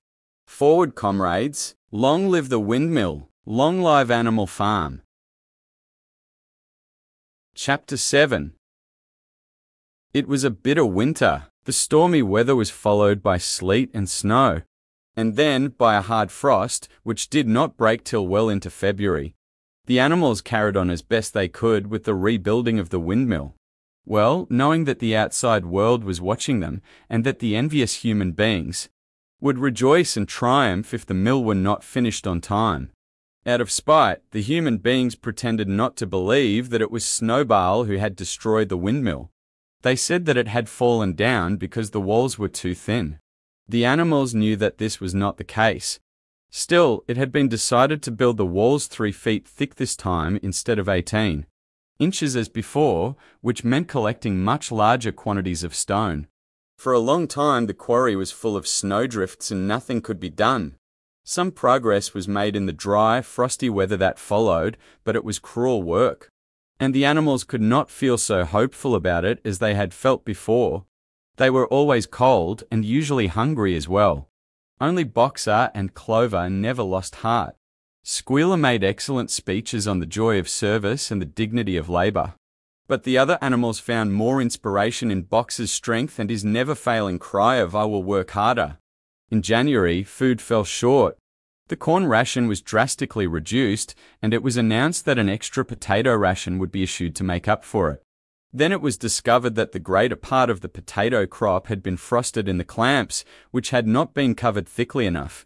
The potatoes had become soft and discolored, and only a few were edible. For days at a time, the animals had nothing to eat but chaff and mangels. Starvation seemed to stare them in the face. It was vitally necessary to conceal this fact from the outside world. Emboldened by the collapse of the windmill, the human beings were inventing fresh lies about Animal Farm. Once again, it was being put about that all the animals were dying of famine and disease, and that they were continually fighting among themselves and had resorted to cannibalism and infanticide. Napoleon was well aware of the bad results that might follow if the real facts of the food situation were known, and he decided to make use of Mr. Whymper to spread a contrary impression. Hitherto the animals had had little or no contact with Whymper on his weekly visits. Now, however, a few selected animals, mostly sheep, were instructed to remark casually in his hearing that rations had been increased, in addition, Napoleon ordered the almost empty bins in the store shed to be filled nearly to the brim with sand, which was then covered up with what remained of the grain and meal. On some suitable pretext, Whymper was led through the store shed and allowed to catch a glimpse of the bins. He was deceived and continued to report to the outside world that there was no food shortage on Animal Farm. Nevertheless, towards the end of January, it became obvious that it would be necessary to procure some more grain from somewhere, in these days, Napoleon rarely appeared in public, but spent all his time in the farmhouse, which was guarded at each door by fierce looking dogs. When he did emerge, it was in a ceremonial manner with an escort of six dogs, who closely surrounded him and growled if anyone came too near. Frequently, he did not even appear on Sunday mornings, but issued his orders through one of the other pigs, usually Squealer. One Sunday morning, Squealer announced that the hens, who had just come into lay again, must surrender their eggs. Napoleon had accepted, through Whymper, a contract for 400 eggs a week. The price of these would pay for enough grain and meal to keep the farm going till summer came on and conditions were easier. When the hens heard this, they raised a terrible outcry. They had been warned earlier that this sacrifice might be necessary, but had not believed that it would really happen. They were just getting their clutches ready for the spring sitting, and they protested that to take the eggs away now was murder. For the first time since the expulsion of Jones, there was something resembling a rebellion. Led by three young black Minorca pullets, the hens made a determined effort to thwart Napoleon's wishes.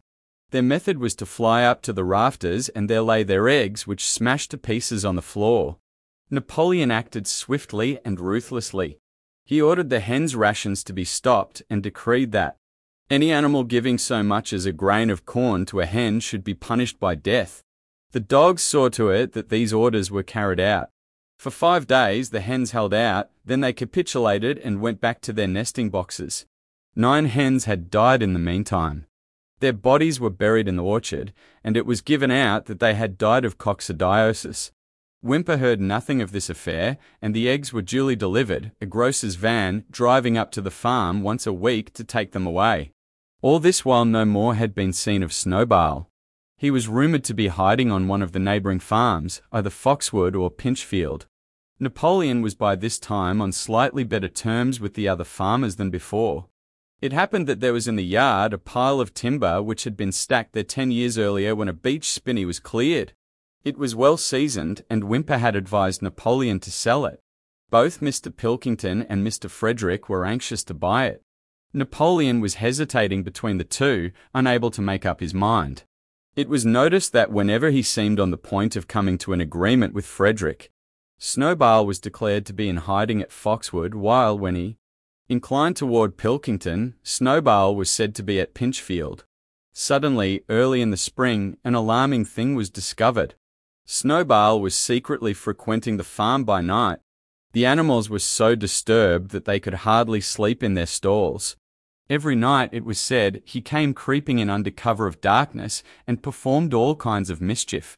He stole the corn, he upset the milk pails, he broke the eggs, he trampled the seed beds, he gnawed the bark off the fruit trees. Whenever anything went wrong, it became usual to attribute it to Snowball. If a window was broken or a drain was blocked up, someone was certain to say that Snowball had come in the night and done it. And when the key of the store shed was lost, the whole farm was convinced that Snowball had thrown it down the well. Curiously enough, they went on believing this even after the mislaid key was found under a sack of meal. The cows declared unanimously that Snowball crept into their stalls and milked them in their sleep. The rats, which had been troublesome that winter, were also said to be in league with Snowball.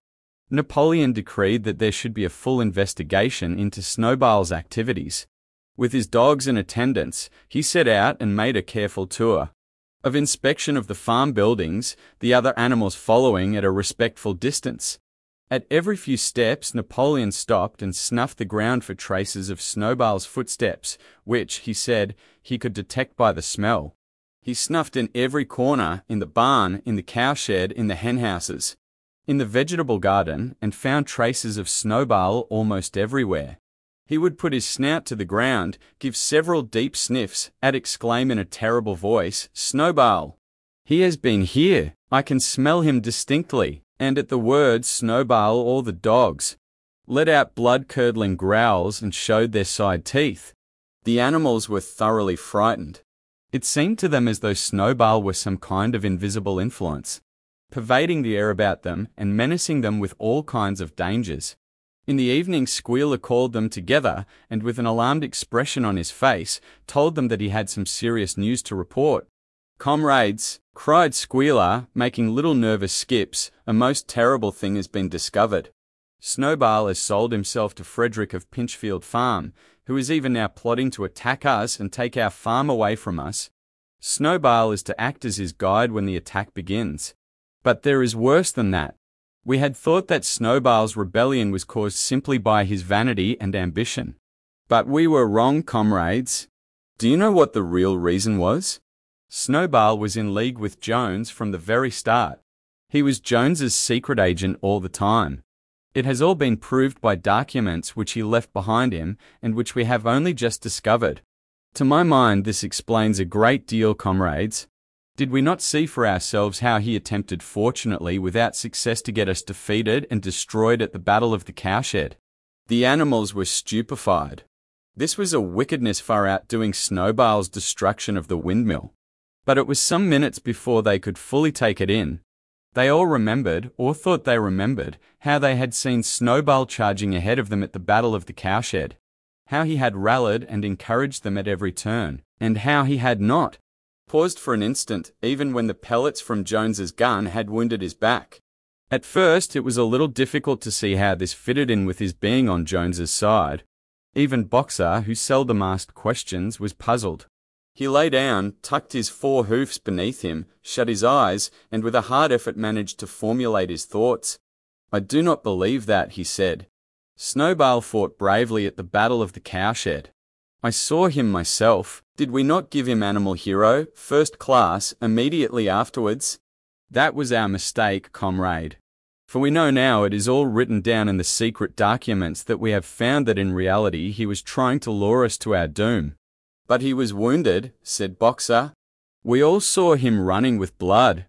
That was part of the arrangement, cried Squealer. Jones's shot only grazed him. I could show you this in his own writing if you were able to read it. The plot was for Snowball, at the critical moment, to give the signal for flight and leave the field to the enemy. And he very nearly succeeded, I will even say, comrades. He would have succeeded if it had not been for our heroic leader, Comrade Napoleon. Do you not remember how, just at the moment when Jones and his men had got inside the yard, Snowball suddenly turned and fled, and many animals followed him? And do you not remember, too, that it was just at that moment, when panic was spreading and all seemed lost, that comrade Napoleon sprang forward with a cry of death to humanity and sank his teeth in Jones's leg? Surely you remember that, comrades? exclaimed Squealer, frisking from side to side. Now, when Squealer described the scene so graphically, it seemed to the animals that they did remember it. At any rate, they remembered that at the critical moment of the battle, Snowball had turned to flee. But Boxer was still a little uneasy. I do not believe that Snowball was a traitor at the beginning, he said finally. What he has done since is different. But I believe that at the Battle of the Cowshed he was a good comrade. Our leader, Comrade Napoleon, announced Squealer, speaking very slowly and firmly, has stated categorically, categorically, comrade. That Snowball was Jones's agent from the very beginning, yes, and from long before the rebellion was ever thought of. Ah, that is different, said Boxer. If Comrade Napoleon says it, it must be right. That is the true spirit, comrade, cried Squealer, but it was noticed he cast a very ugly look at Boxer with his little twinkling eyes. He turned to go, then paused and added impressively, I want every animal on this farm to keep his eyes very wide open for we have reason to think that some of Snowball's secret agents are lurking among us at this moment. Four days later, in the late afternoon, Napoleon ordered all the animals to assemble in the yard. When they were all gathered together, Napoleon emerged from the farmhouse. Wearing both his medals for he had recently awarded himself Animal Hero First Class, and Animal Hero Second Class, with his nine huge dogs frisking round him and uttering growls that sent shivers down all the animals' spines. They all cowered silently in their places, seeming to know in advance that some terrible thing was about to happen. Napoleon stood sternly surveying his audience. Then he uttered a high pitched whimper. Immediately the dogs bounded forward, seized four of the pigs by the ear, and dragged them, squealing with pain and terror, to Napoleon's feet. The pigs' ears were bleeding, the dogs had tasted blood, and for a few moments they appeared to go quite mad. To the amazement of everybody, three of them flung themselves upon Boxer. Boxer saw them coming and put out his great hoof, caught a dog in midair, and pinned him to the ground. The dog shrieked for mercy, and the other two fled with their tails between their legs. Boxer looked at Napoleon to know whether he should crush the dog to death or let it go. Napoleon appeared to change countenance and sharply ordered Boxer to let the dog go. Whereat Boxer lifted his hoof, and the dog slunk away, bruised and howling. Presently the tumult died down. The four pigs waited, trembling, with guilt written on every line of their countenances. Napoleon now called upon them to confess their crimes.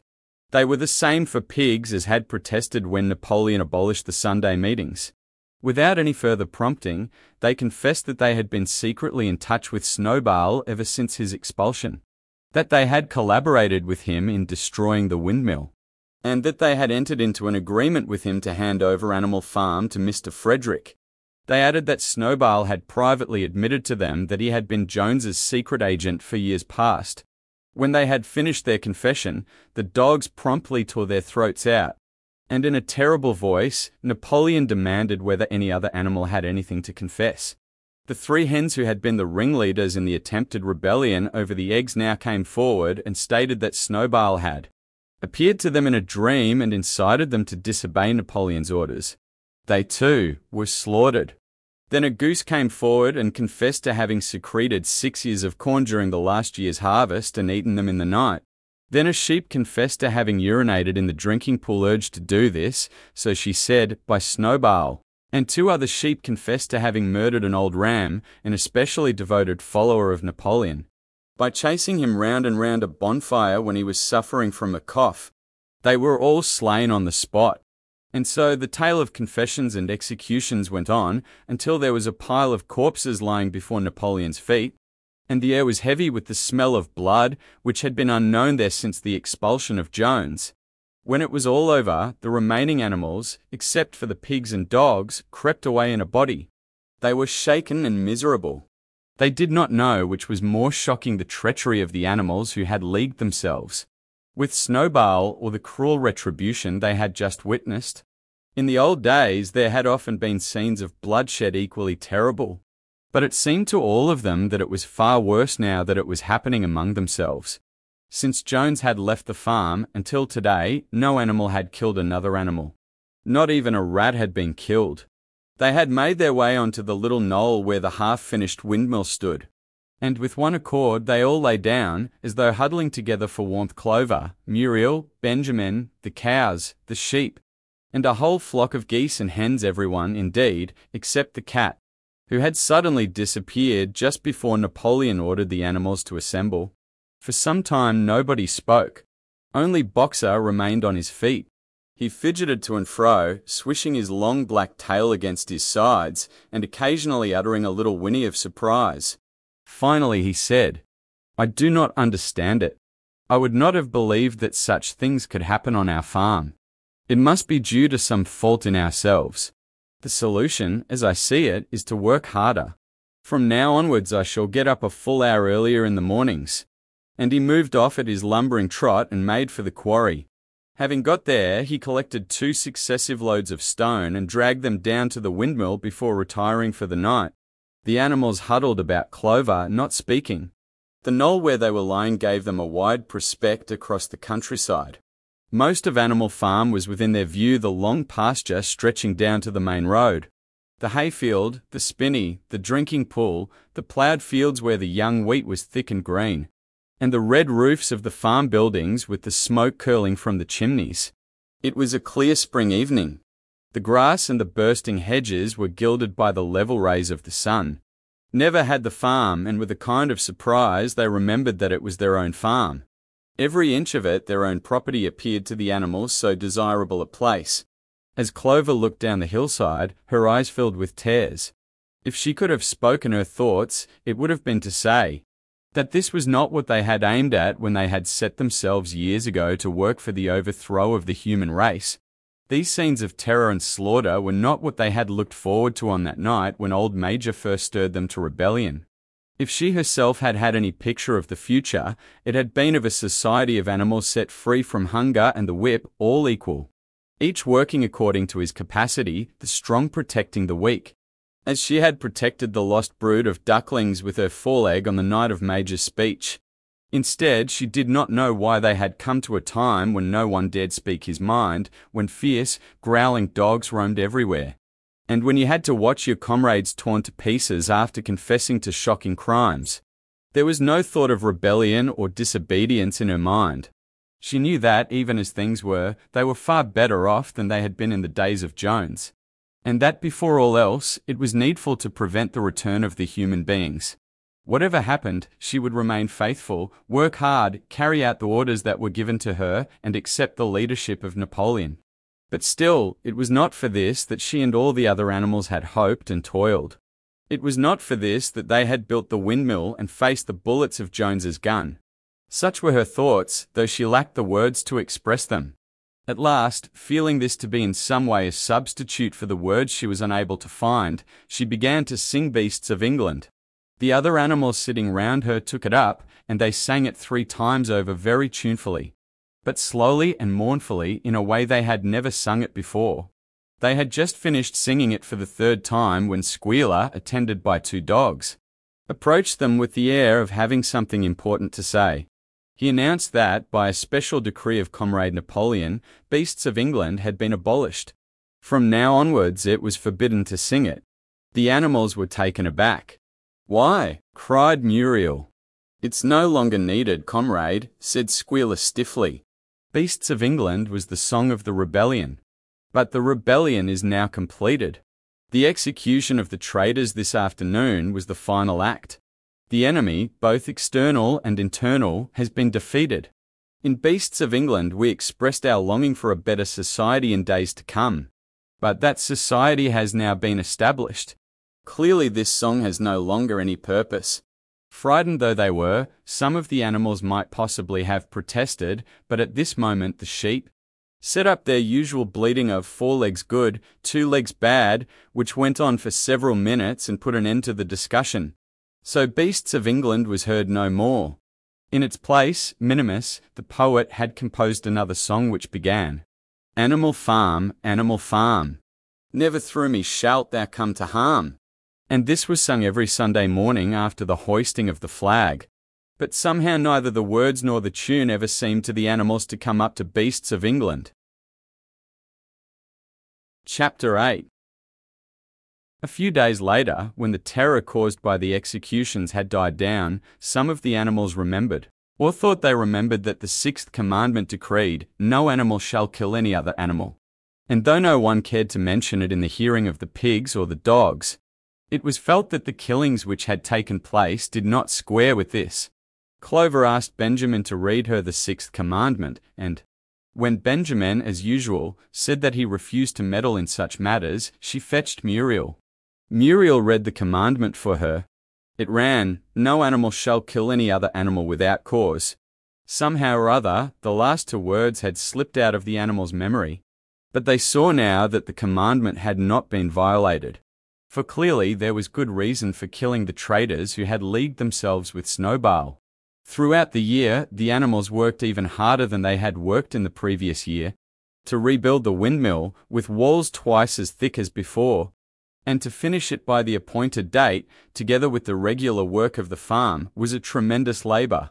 There were times when it seemed to the animals that they worked longer hours and fed no better than they had done in Jones's day.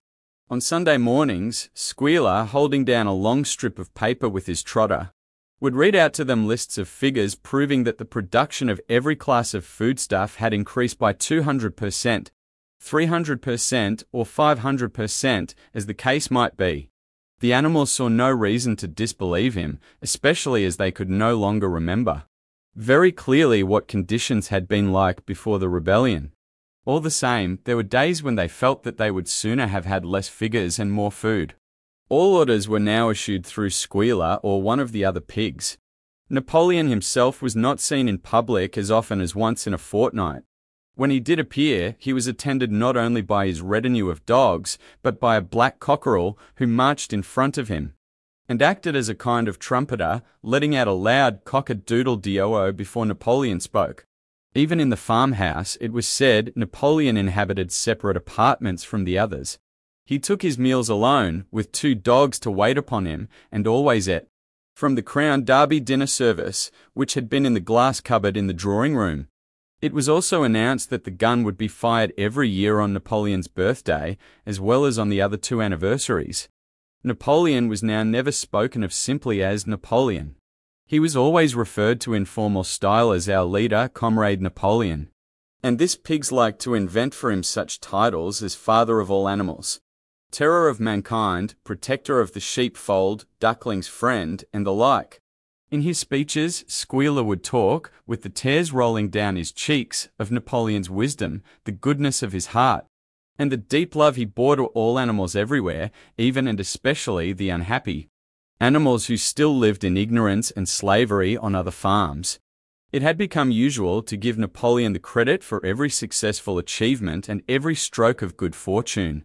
You would often hear one hen remark to another, Under the guidance of our leader, Comrade Napoleon, I have laid five eggs in six days.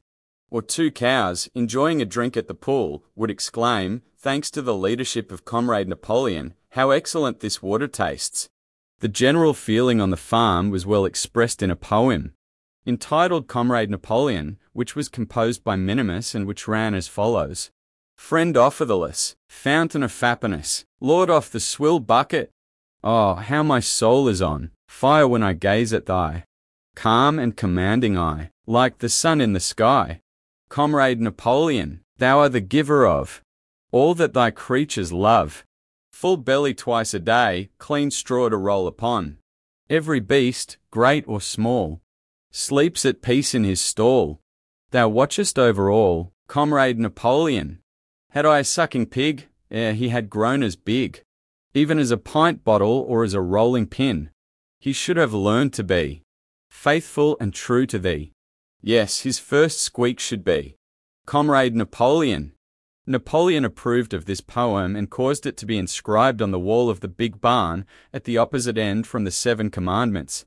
It was surmounted by a portrait of Napoleon in profile executed by Squealer in white paint.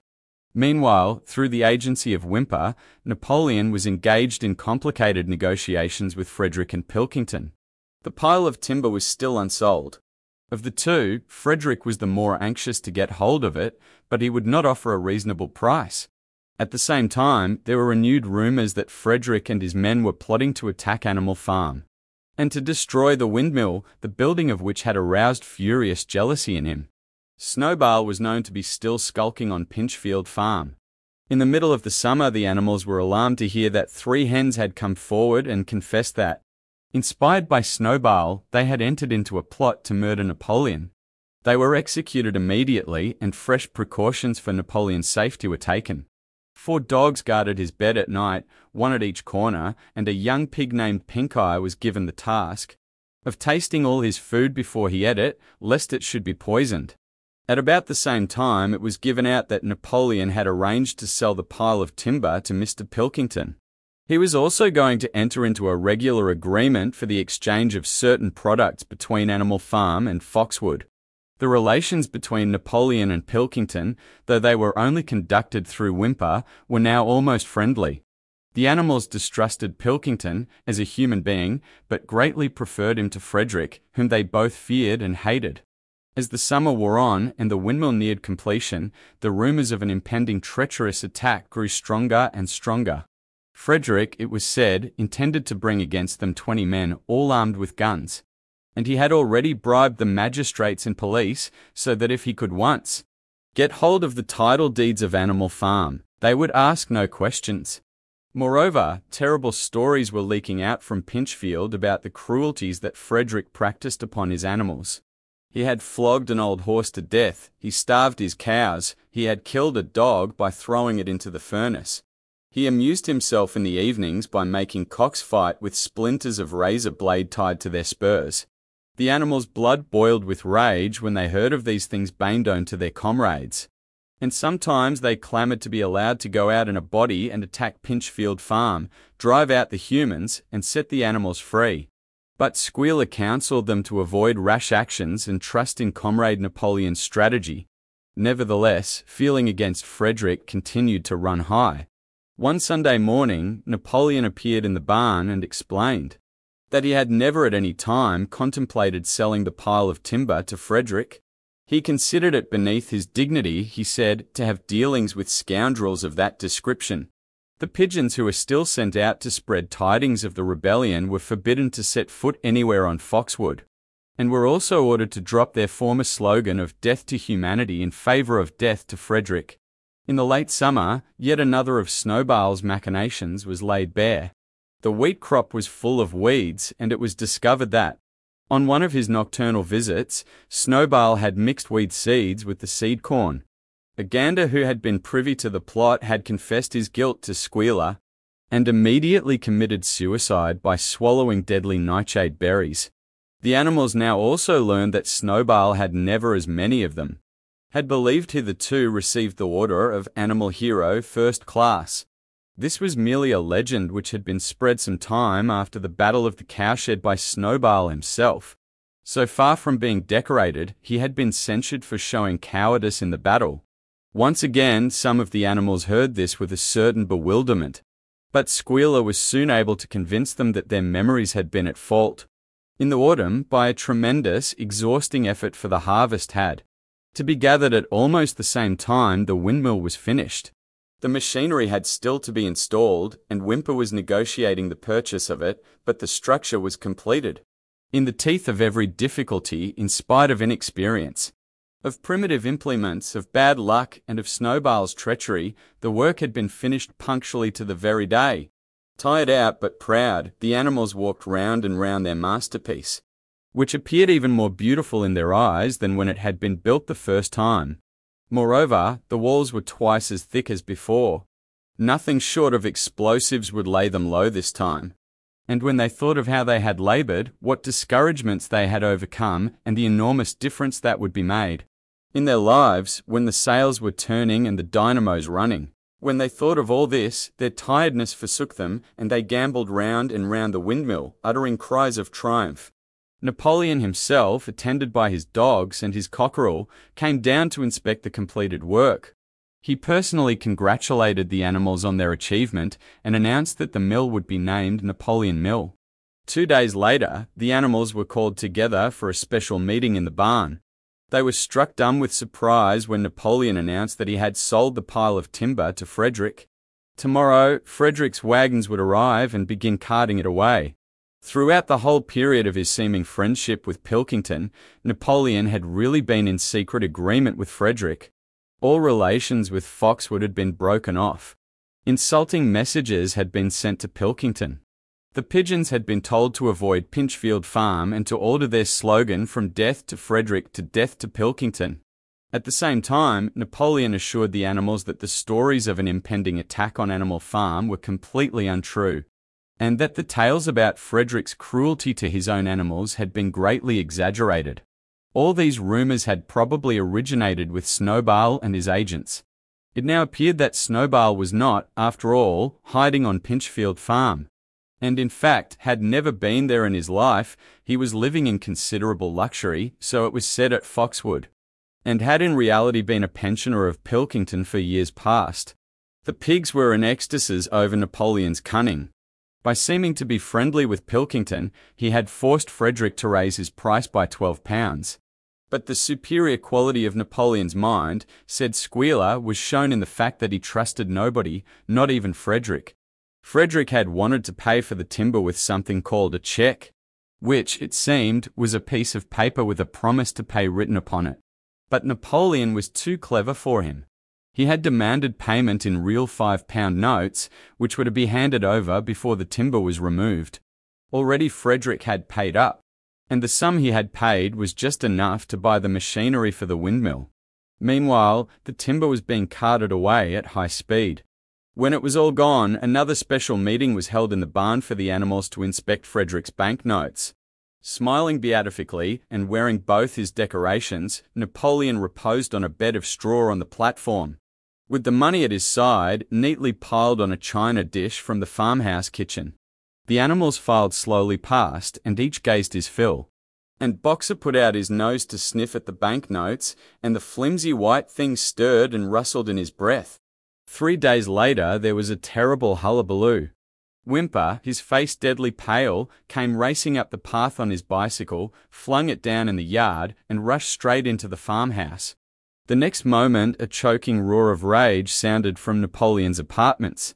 The news of what had happened sped round the farm like wildfire. The banknotes were forgeries. Frederick had got the timber for nothing. Napoleon called the animals together immediately and in a terrible voice pronounced the death sentence upon Frederick.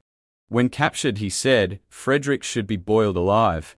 At the same time, he warned them that after this treacherous deed, the worst was to be expected.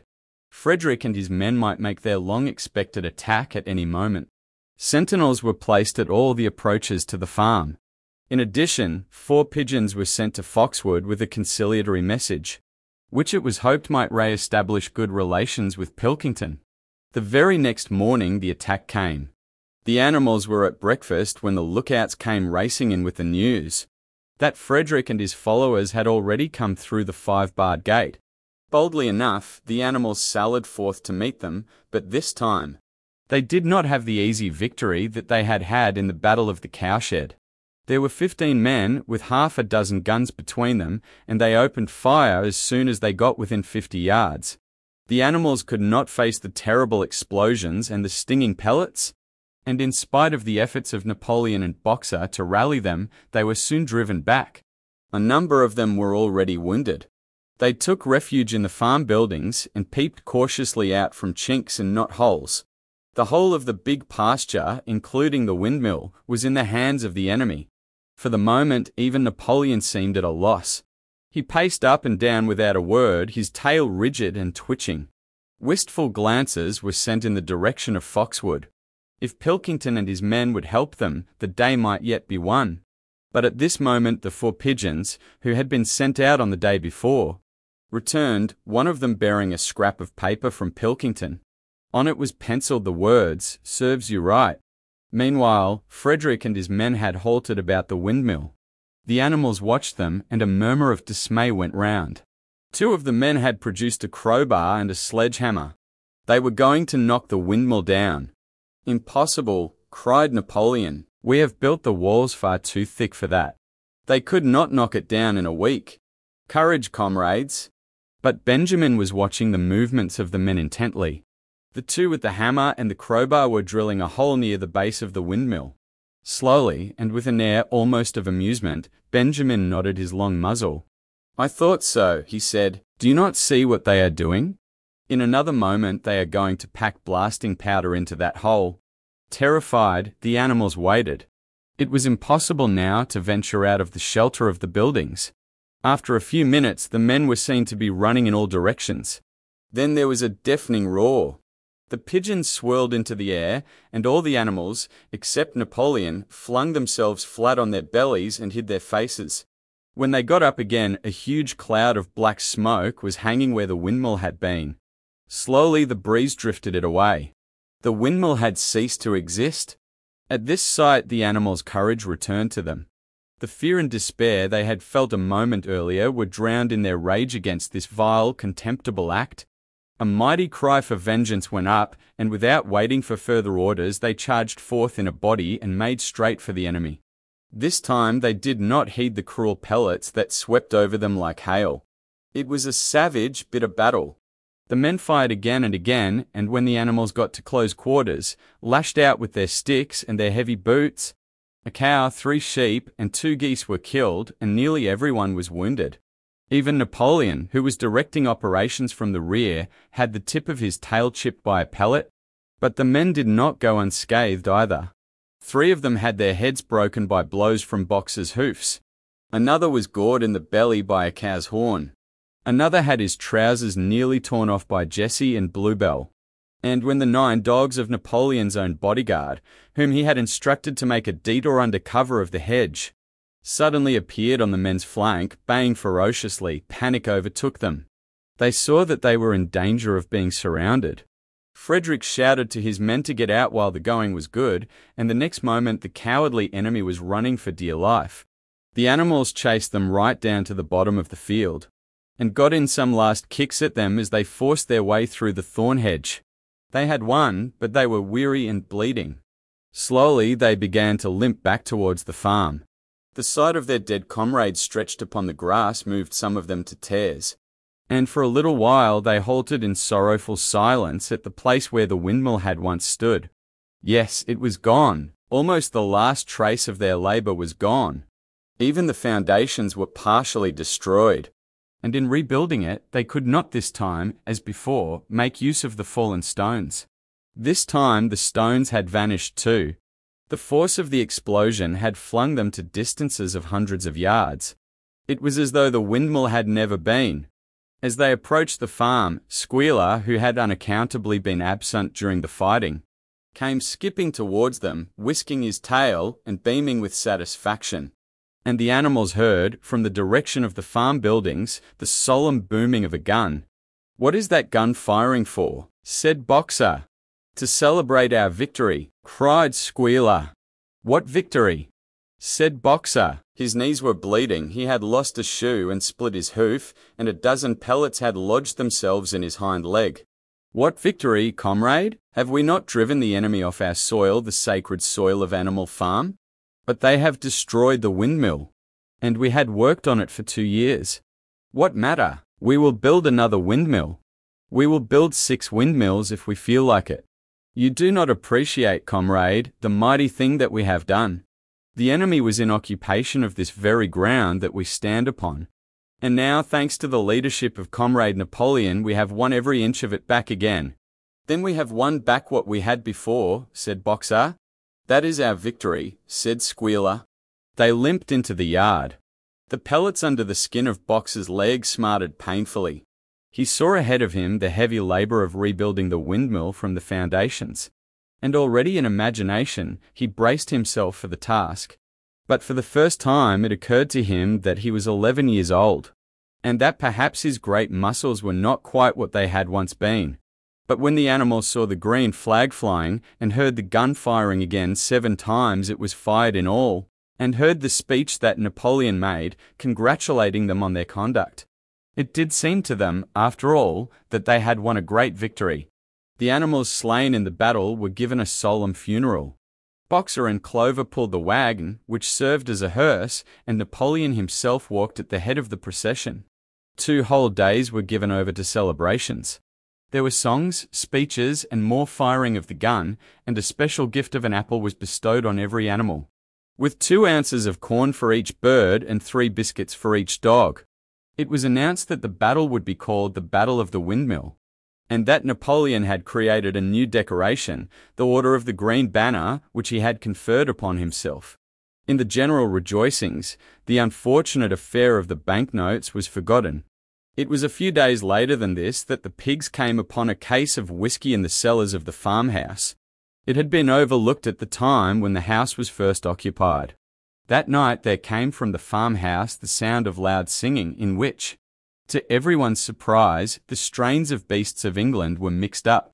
At about half past nine, Napoleon, wearing an old bowler hat of Mr. Jones's, was distinctly seen to emerge from the back door, gallop rapidly round the yard, and disappear indoors again. But in the morning a deep silence hung over the farmhouse. Not a pig appeared to be stirring. It was nearly nine o'clock when Squealer made his appearance. Walking slowly and dejectedly, his eyes dull, his tail hanging limply behind him, and with every appearance of being seriously ill. He called the animals together and told them that he had a terrible piece of news to impart.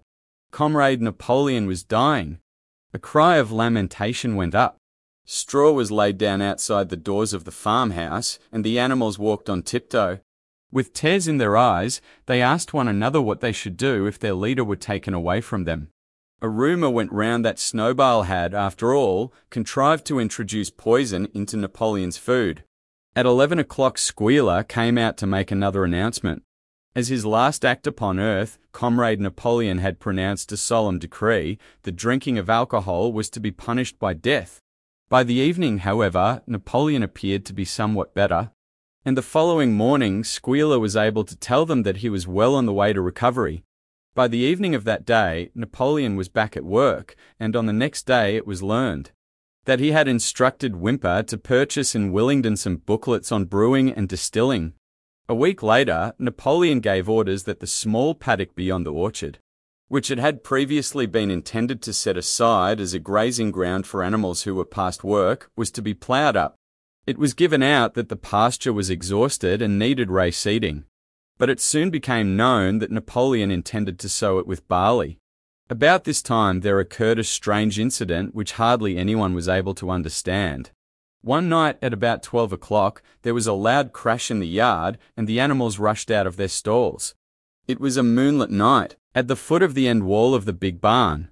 Where the seven commandments were written, there lay a ladder broken in two pieces. Squealer, temporarily stunned, was sprawling beside it, and near at hand there lay a lantern, a paintbrush, and an overturned pot of white paint. The dogs immediately made a ring round Squealer and escorted him back to the farmhouse as soon as he was able to walk. None of the animals could form any idea as to what this meant, except old Benjamin, who nodded his muzzle with a knowing air and seemed to understand, but would say nothing. But a few days later, Muriel, reading over the seven commandments to herself, noticed that there was yet another of them which the animals had remembered wrong. They had thought the fifth commandment was no animal shall drink alcohol, but there were two words that they had forgotten. Actually, the commandment read, No animal shall drink alcohol to excess. Chapter 9 Boxer's split hoof was a long time in healing. They had started the rebuilding of the windmill the day after the victory celebrations were ended. Boxer refused to take even a day off work and made it a point of honor not to let it be seen that he was in pain. In the evenings, he would admit privately to Clover that the hoof troubled him a great deal. Clover treated the hoof with poultices of herbs, which she prepared by chewing them, and both she and Benjamin urged Boxer to work less hard. A horse's lungs do not last forever, she said to him. But Boxer would not listen. He had, he said, only one real ambition left to see the windmill well underway before he reached the age for retirement. At the beginning, when the laws of Animal Farm were first formulated, the retiring age had been fixed for horses and pigs at 12, for cows at 14, for dogs at 9, for sheep at 7, and for hens and geese at 5. Liberal old age pensions had been agreed upon. As yet, no animal had actually retired on pension, but of late the subject had been discussed more and more. Now that the small field beyond the orchard had been set aside for barley, it was rumoured that a corner of the large pasture was to be fenced off and turned into a grazing ground for superannuated animals. For a horse, it was said, the pension would be five pounds of corn a day and, in winter, fifteen pounds of hay with a carrot or possibly an apple, on public holidays. Boxer's 12th birthday was due in the late summer of the following year. Meanwhile, life was hard. The winter was as cold as the last one had been, and food was even shorter. Once again, all rations were reduced, except those of the pigs and the dogs. A too rigid equality in rations, Squealer explained, would have been contrary to the principles of animalism. In any case, he had no difficulty in proving to the other animals that they were not in reality short of food, whatever the appearances might be. For the time being, certainly, it had been found necessary to make a readjustment of rations. Squealer always spoke of it as a readjustment. Never as a reduction, but in comparison with the days of Jones, the improvement was enormous. Reading out the figures in a shrill, rapid voice, he proved to them in detail that they had more oats, more hay, more turnips than they had had in Jones's day, that they worked shorter hours, that their drinking water was of better quality, that they lived longer, that a larger proportion of their young ones survived infancy, and that they had more straw in their stalls and suffered less from fleas. The animals believed every word of it. Truth to tell, Jones and all he stood for had almost faded out of their memories. They knew that life nowadays was harsh and bare, that they were often hungry and often cold and that they were usually working when they were not asleep. But doubtless it had been worse in the old days. They were glad to believe so. Besides, in those days they had been slaves, and now they were free, and that made all the difference, as Squealer did not fail to point out. There were many more mouths to feed now. In the autumn, the four sows had all littered about simultaneously, producing 31 young pigs between them. The young pigs were piebald, and as Napoleon was the only boar on the farm, it was possible to guess at their parentage.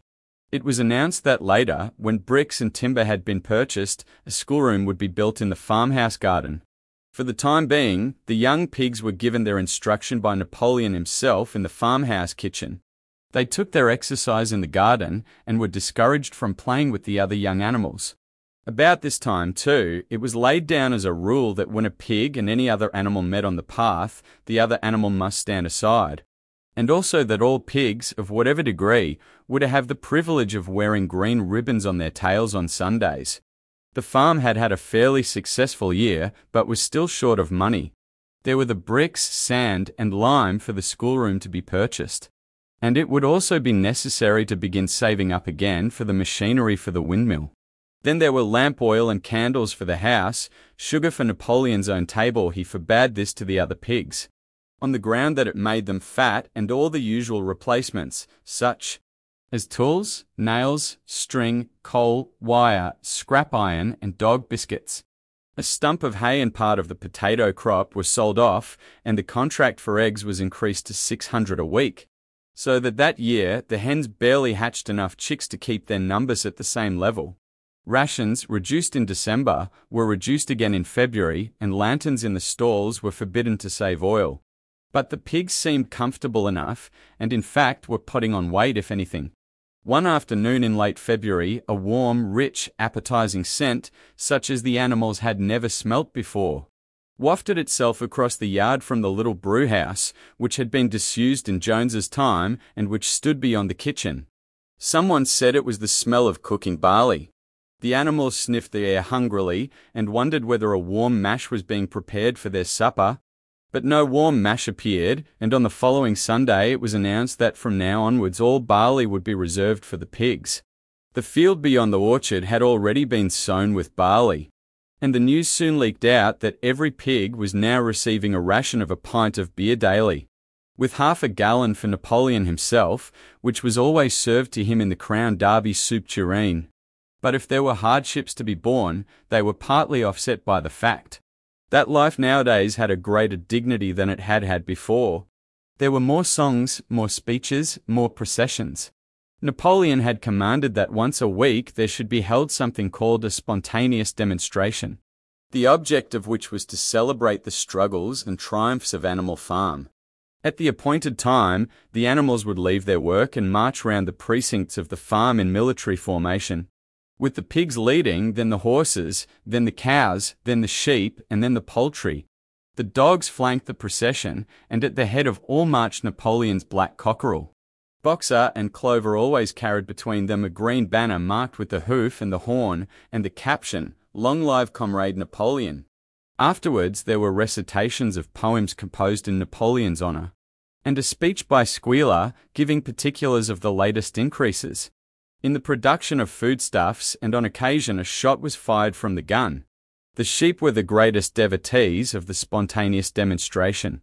And if anyone complained, as a few animals sometimes did, when no pigs or dogs were near, that they wasted time and meant a lot of standing about in the cold. The sheep were sure to silence him with a tremendous bleating of four legs, good, two legs bad, but by and large the animals enjoyed these celebrations. They found it comforting to be reminded that, after all, they were truly their own masters, and that the work they did was for their own benefit. So that, what with the songs, the processions, Squealer's lists of figures, the thunder of the gun, the crowing of the cockerel, and the fluttering of the flag, they were able to forget that their bellies were empty at least part of the time. In April, Animal Farm was proclaimed a republic, and it became necessary to elect a president. There was only one candidate, Napoleon, who was elected unanimously. On the same day, it was given out that fresh documents had been discovered which revealed further details about Snowball's complicity with Jones. It now appeared that Snowball had not, as the animals had previously imagined, merely attempted to lose the Battle of the Cowshed by means of a stratagem, but had been openly fighting on Jones's side. In fact, it was he who had actually been the leader of the human forces, and had charged into battle with the words, Long live humanity, on his lips, the wounds on Snowball's back, which a few of the animals still remembered to have seen, had been inflicted by Napoleon's teeth. In the middle of the summer, Moses the raven suddenly reappeared on the farm after an absence of several years. He was quite unchanged, still did no work, and talked in the same strain as ever about Sugar Candy Mountain. He would perch on a stump, flap his black wings, and talk by the hour to anyone who would listen. Up there, comrades, he would say solemnly, pointing to the sky with his large beak. Up there, just on the other side of that dark cloud that you can see there it lies, Sugar Candy Mountain. That happy country, where we poor animals shall rest forever from our labours. He even claimed to have been there on one of his higher flights, and to have seen the everlasting fields of clover and the linseed cake and lump sugar growing on the hedges. Many of the animals believed him. Their lives now, they reasoned, were hungry and laborious. Was it not right and just that a better world should exist somewhere else? A thing that was difficult to determine was the attitude of the pigs towards Moses. They all declared contemptuously that his stories about Sugar Candy Mountain were lies. And yet they allowed him to remain on the farm, not working, with an allowance of a gill of beer a day. After his hoof had healed up, Boxer worked harder than ever. Indeed, all the animals worked like slaves that year. Apart from the regular work of the farm and the rebuilding of the windmill, there was the schoolhouse for the young pigs, which was started in March. Sometimes the long hours on insufficient food were hard to bear, but Boxer never faltered. In nothing that he said or did was there any sign that his strength was not what it had been. It was only his appearance that was a little altered. His hide was less shiny than it had used to be, and his great haunches seemed to have shrunken. The others said, Boxer will pick up when the spring grass comes on. But the spring came, and Boxer grew no fatter. Sometimes on the slope leading to the top of the quarry, when he braced his muscles against the weight of some vast boulder, it seemed that nothing kept him on his feet except the will to continue. At such times his lips were seen to form the words, I will work harder. He had no voice left. Once again, Clover and Benjamin warned him to take care of his health, but Boxer paid no attention. His twelfth birthday was approaching. He did not care what happened so long as a good store of stone was accumulated before he went on pension. Late one evening in the summer, a sudden rumour ran round the farm that something had happened to Boxer. He had gone out alone to drag a load of stone down to the windmill. And sure enough, the rumour was true. A few minutes later, two pigeons came racing in with the news. Boxer has fallen. He is lying on his side and can't get up. About half the animals on the farm rushed out to the knoll where the windmill stood. There lay Boxer, between the shafts of the cart, his neck stretched out, unable even to raise his head. His eyes were glazed, his sides matted with sweat. A thin stream of blood had trickled out of his mouth. Clover dropped to her knees at his side. Boxer, she cried, how are you? It is my lung, said Boxer in a weak voice. It does not matter. I think you will be able to finish the windmill without me. There is a pretty good store of stone accumulated. I had only another month to go in any case. To tell you the truth, I had been looking forward to my retirement. And perhaps, as Benjamin is growing old too, they will let him retire at the same time and be a companion to me. We must get help at once, said Clover. Run somebody and tell Squealer what has happened. All the other animals immediately raced back to the farmhouse to give Squealer the news. Only Clover remained, and Benjamin, who lay down at Boxer's side and without speaking kept the FLIs off him with his long tail. After about a quarter of an hour, Squealer appeared, full of sympathy and concern. He said that Comrade Napoleon had learned with the very deepest distress of this misfortune to one of the most loyal workers on the farm and was already making arrangements to send Boxer to be treated in the hospital at Willingdon. The animals felt a little uneasy at this. Except for Molly and Snowball, no other animal had ever left the farm, and they did not like to think of their sick comrade in the hands of human beings. However, Squealer easily convinced them that the veterinary surgeon in Willingdon could treat Boxer's case more satisfactorily than could be done on the farm and about half an hour later, when Boxer had somewhat recovered, he was with difficulty got onto his feet and managed to limp back to his stall, where Clover and Benjamin had prepared a good bed of straw for him. For the next two days, Boxer remained in his stall. The pigs had sent out a large bottle of pink medicine, which they had found in the medicine chest in the bathroom, and Clover administered it to Boxer twice a day after meals. In the evenings, she lay in his stall and talked to him while Benjamin kept the FLIs off him. Boxer professed not to be sorry for what had happened. If he made a good recovery, he might expect to live another three years. And he looked forward to the peaceful days that he would spend in the corner of the big pasture. It would be the first time that he had had leisure to study and improve his mind. He intended, he said, to devote the rest of his life to learning the remaining 22 letters of the alphabet. However, Benjamin and Clover could only be with Boxer after working hours and it was in the middle of the day when the van came to take him away. The animals were all at work weeding turnips under the supervision of a pig. When they were astonished to see Benjamin come galloping from the direction of the farm buildings, braying at the top of his voice. It was the first time that they had ever seen Benjamin excited indeed. It was the first time that anyone had ever seen him gallop. Quick, quick, he shouted, come at once, they're taking Boxer away, without waiting for orders from the pig. The animals broke off work and raced back to the farm buildings. Sure enough, there in the yard was a large closed van drawn by two horses, with lettering on its side and a sly looking man in a low crowned bowler hat sitting on the driver's seat. And Boxer's stall was empty. The animals crowded round the van. Goodbye, Boxer, they chorused. Goodbye. Fools, fools, shouted Benjamin, prancing round them and stamping the earth with his small hoofs. Fools, do you not see what is written on the side of that van? That gave the animals pause, and there was a hush. Muriel began to spell out the words. But Benjamin pushed her aside, and in the midst of a deadly silence he read Alfred Simmons, horse slaughterer and glue boiler, Willingdon. Dealer in hides and bone meal, kennels supplied. Do you not understand what that means? They are taking Boxer to the knackers. A cry of horror burst from all the animals. At this moment, the man on the box whipped up his horses, and the van moved out of the yard at a smart trot. All the animals followed, crying out at the tops of their voices. Clover forced her way to the front. The van began to gather speed. Clover tried to stir her stout limbs to a gallop and achieved a canter. Boxer! she cried. Boxer! Boxer! Boxer! And just at this moment, as though he had heard the uproar outside, Boxer's face, with the white stripe down his nose, appeared at the small window at the back of the van. Boxer! cried Clover in a terrible voice. Boxer! Get out! Get out quickly! They're taking you to your death! All the animals took up the cry of Get out, Boxer! Get out! But the van was already gathering speed and drawing away from them. It was uncertain whether Boxer had understood what Clover had said, but a moment later, his face disappeared from the window and there was the sound of a tremendous drumming of hoofs inside the van. He was trying to kick his way out. The time had been when a few kicks from Boxer's hoofs would have smashed the van to matchwood. But alas, his strength had left him. And in a few moments, the sound of drumming hoofs grew fainter and died away.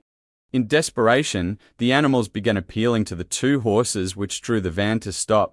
Comrades, comrades, they shouted, don't take your own brother to his death. But the stupid brutes, too ignorant to realize what was happening, merely set back their ears and quickened their pace. Boxer's face did not reappear at the window. Too late, someone thought of racing ahead and shutting the five barred gate. But in another moment, the van was through it and rapidly disappearing down the road. Boxer was never seen again. Three days later, it was announced that he had died in the hospital at Willingdon, in spite of receiving every attention a horse could have. Squealer came to announce the news to the others.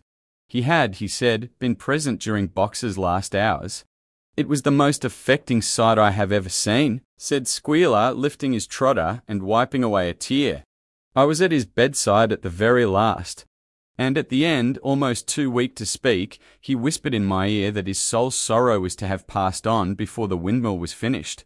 Forward, comrades, he whispered, forward in the name of the rebellion. Long live Animal Farm, long live Comrade Napoleon. Napoleon is always right. Those were his very last words, comrades. Here Squealer's demeanour suddenly changed. He fell silent for a moment, and his little eyes darted suspicious glances from side to side before he proceeded. It had come to his knowledge, he said, that a foolish and wicked rumour had been circulated at the time of Boxer's removal. Some of the animals had noticed that the van which took Boxer away was marked horse slaughterer, and had actually jumped to the conclusion that Boxer was being sent to the knackers. It was almost unbelievable, said Squealer, that any animal could be so stupid. Surely, he cried indignantly, whisking his tail and skipping from side to side. Surely they knew their beloved leader, Comrade Napoleon, better than that?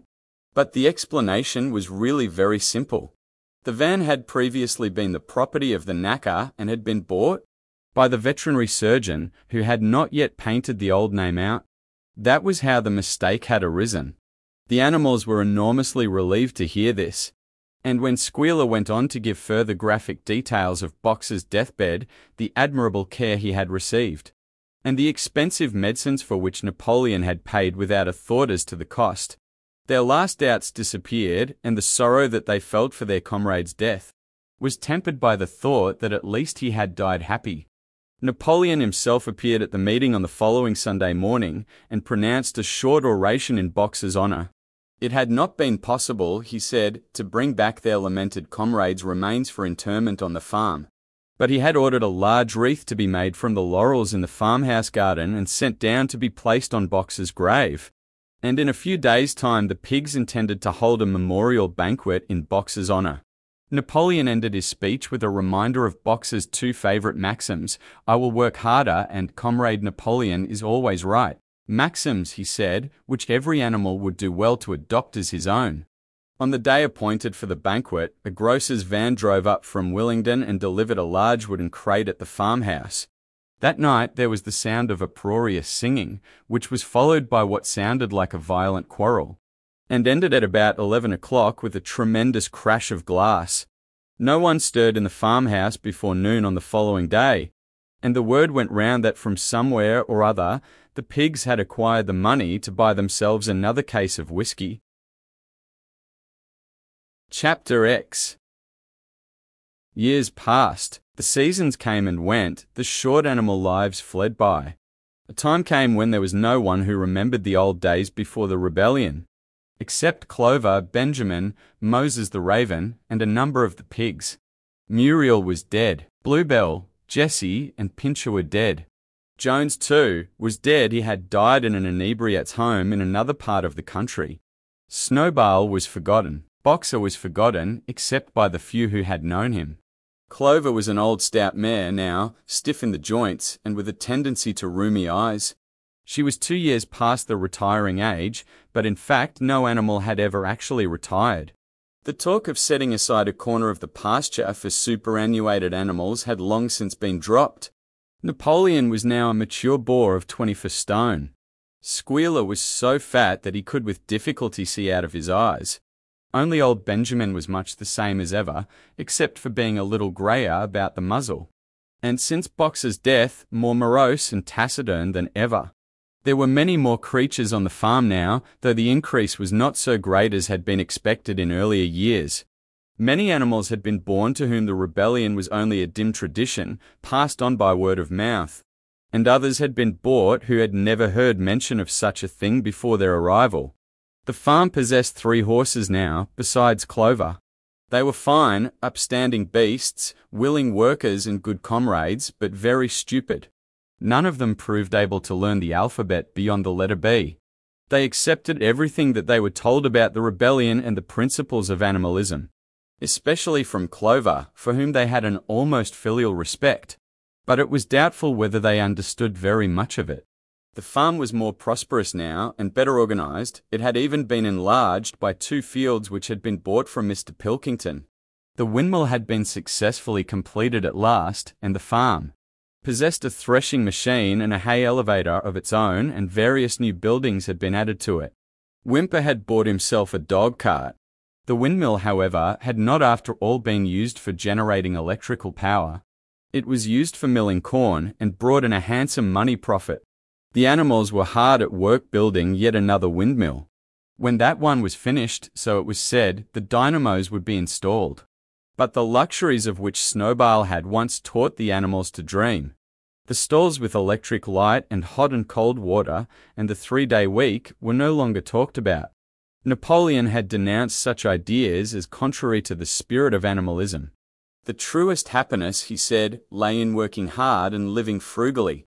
Somehow it seemed as though the farm had grown richer, without making the animals themselves any richer, except, of course, for the pigs and the dogs. Perhaps this was partly because there were so many pigs and so many dogs. It was not that these creatures did not work after their fashion. There was, as Squealer was never tired of explaining, endless work in the supervision and organization of the farm. Much of this work was of a kind that the other animals were too ignorant to understand. For example, Squealer told them that the pigs had to expend enormous labors every day upon mysterious things called files, reports, minutes, and memoranda. These were large sheets of paper which had to be closely covered with writing and as soon as they were so covered, they were burnt in the furnace. This was of the highest importance for the welfare of the farm, Squealer said. But still, neither pigs nor dogs produced any food by their own labor. And there were very many of them, and their appetites were always good. As for the others, their life, so far as they knew, was as it had always been. They were generally hungry, they slept on straw, they drank from the pool, they labored in the fields. In winter they were troubled by the cold, and in summer by the FLIs. Sometimes the older ones among them racked their dim memories and tried to determine whether in the early days of the rebellion, when Jones's expulsion was still recent, things had been better or worse than now. They could not remember. There was nothing with which they could compare their present lives. They had nothing to go upon except Squealer's lists of figures, which invariably demonstrated that everything was getting better and better. The animals found the problem insoluble. In any case, they had little time for speculating on such things now. Only old Benjamin professed to remember every detail of his long life, and to know that things never had been, nor ever could be, much better or much worse hunger. Hardship and disappointment being, so he said, the unalterable law of life. And yet the animals never gave up hope. More, they never lost, even for an instant, their sense of honour and privilege in being members of Animal Farm. They were still the only farm in the whole county in all England, owned and operated by animals. Not one of them, not even the youngest, not even the newcomers who had been brought from farms 10 or 20 miles away, ever ceased to marvel at that. And when they heard the gun booming and saw the green flag fluttering at the masthead, their hearts swelled with imperishable pride. And the talk turned always towards the old heroic days, the expulsion of Jones, the writing of the Seven Commandments, the great battles in which the human invaders had been defeated. None of the old dreams had been abandoned. The republic of the animals which Major had foretold, when the green fields of England should be untrodden by human feet, was still believed in. Some day it was coming, it might not be soon, it might not be within the lifetime of any animal now living, but still it was coming. Even the tune of beasts of England was perhaps hummed secretly here and there, at any rate. It was a fact that every animal on the farm knew it, though no one would have dared to sing it aloud. It might be that their lives were hard and that not all of their hopes had been fulfilled. But they were conscious that they were not as other animals. If they went hungry, it was not from feeding tyrannical human beings. If they worked hard, at least they worked for themselves. No creature among them went upon two legs. No creature called any other creature master. All animals were equal. One day in early summer, Squealer ordered the sheep to follow him, and led them out to a piece of waste ground at the other end of the farm, which had become overgrown with birch saplings. The sheep spent the whole day there, browsing at the leaves under Squealer's supervision. In the evening he returned to the farmhouse himself, but as it was warm weather, told the sheep to stay where they were. It ended by their remaining there for a whole week, during which time the other animals saw nothing of them. Squealer was with them for the greater part of every day. He was, he said, teaching them to sing a new song for which privacy was needed. It was just after the sheep had returned, on a pleasant evening, when the animals had finished work, and were making their way back to the farm buildings, that the terrified neighing of a horse sounded from the yard. Startled, the animals stopped in their tracks. It was Clover's voice. She neighed again, and all the animals broke into a gallop and rushed into the yard. Then they saw what Clover had seen. It was a pig walking on his hind legs. Yes, it was, Squealer, a little awkwardly, as though not quite used to supporting his considerable bulk in that position. But with perfect balance, he was strolling across the yard. And a moment later, out from the door of the farmhouse came a long file of pigs, all walking on their hind legs. Some did it better than others, one or two were even a trifle unsteady, and looked as though they would have liked the support of a stick. But every one of them made his way right round the yard successfully. And finally there was a tremendous baying of dogs and a shrill crowing from the black cockerel. And out came Napoleon himself, majestically upright, casting haughty glances from side to side, and with his dogs gambling round him. He carried a whip in his trotter. There was a deadly silence. Amazed, terrified, huddling together, the animals watched the long line of pigs march slowly round the yard. It was as though the world had turned upside down. Then there came a moment when the first shock had worn off, and when, in spite of everything, in spite of their terror of the dogs, and of the habit, developed through long years, of never complaining, never criticizing. No matter what happened, they might have uttered some word of protest. But just at that moment, as though at a signal, all the sheep burst out into a tremendous bleating of four legs good, two legs better, four legs good, two legs better, four legs good, two legs better. It went on for five minutes without stopping. And by the time the sheep had quieted down, the chance to utter any protest had passed, for the pigs had marched back into the farmhouse.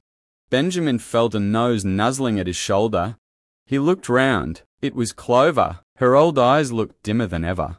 Without saying anything, she tugged gently at his mane and led him round to the end of the big barn where the seven commandments were written. For a minute or two they stood gazing at the tattered wall with its white lettering. My sight is failing, she said finally. Even when I was young, I could not have read what was written there. But it appears to me that that wall looks different. Are the seven commandments the same as they used to be, Benjamin? For once, Benjamin consented to break his rule, and he read out to her what was written on the wall. There was nothing there now except a single commandment. It ran, All animals are equal. But some animals are more equal than others. After that, it did not seem strange when next day the pigs, who were supervising the work of the farm, all carried whips in their trotters. It did not seem strange to learn that the pigs had bought themselves a wireless set, were arranging to install a telephone, and had taken out subscriptions to John Bull, Tit-Bits, and the Daily Mirror. It did not seem strange when Napoleon was seen strolling in the farmhouse garden with a pipe in his mouth.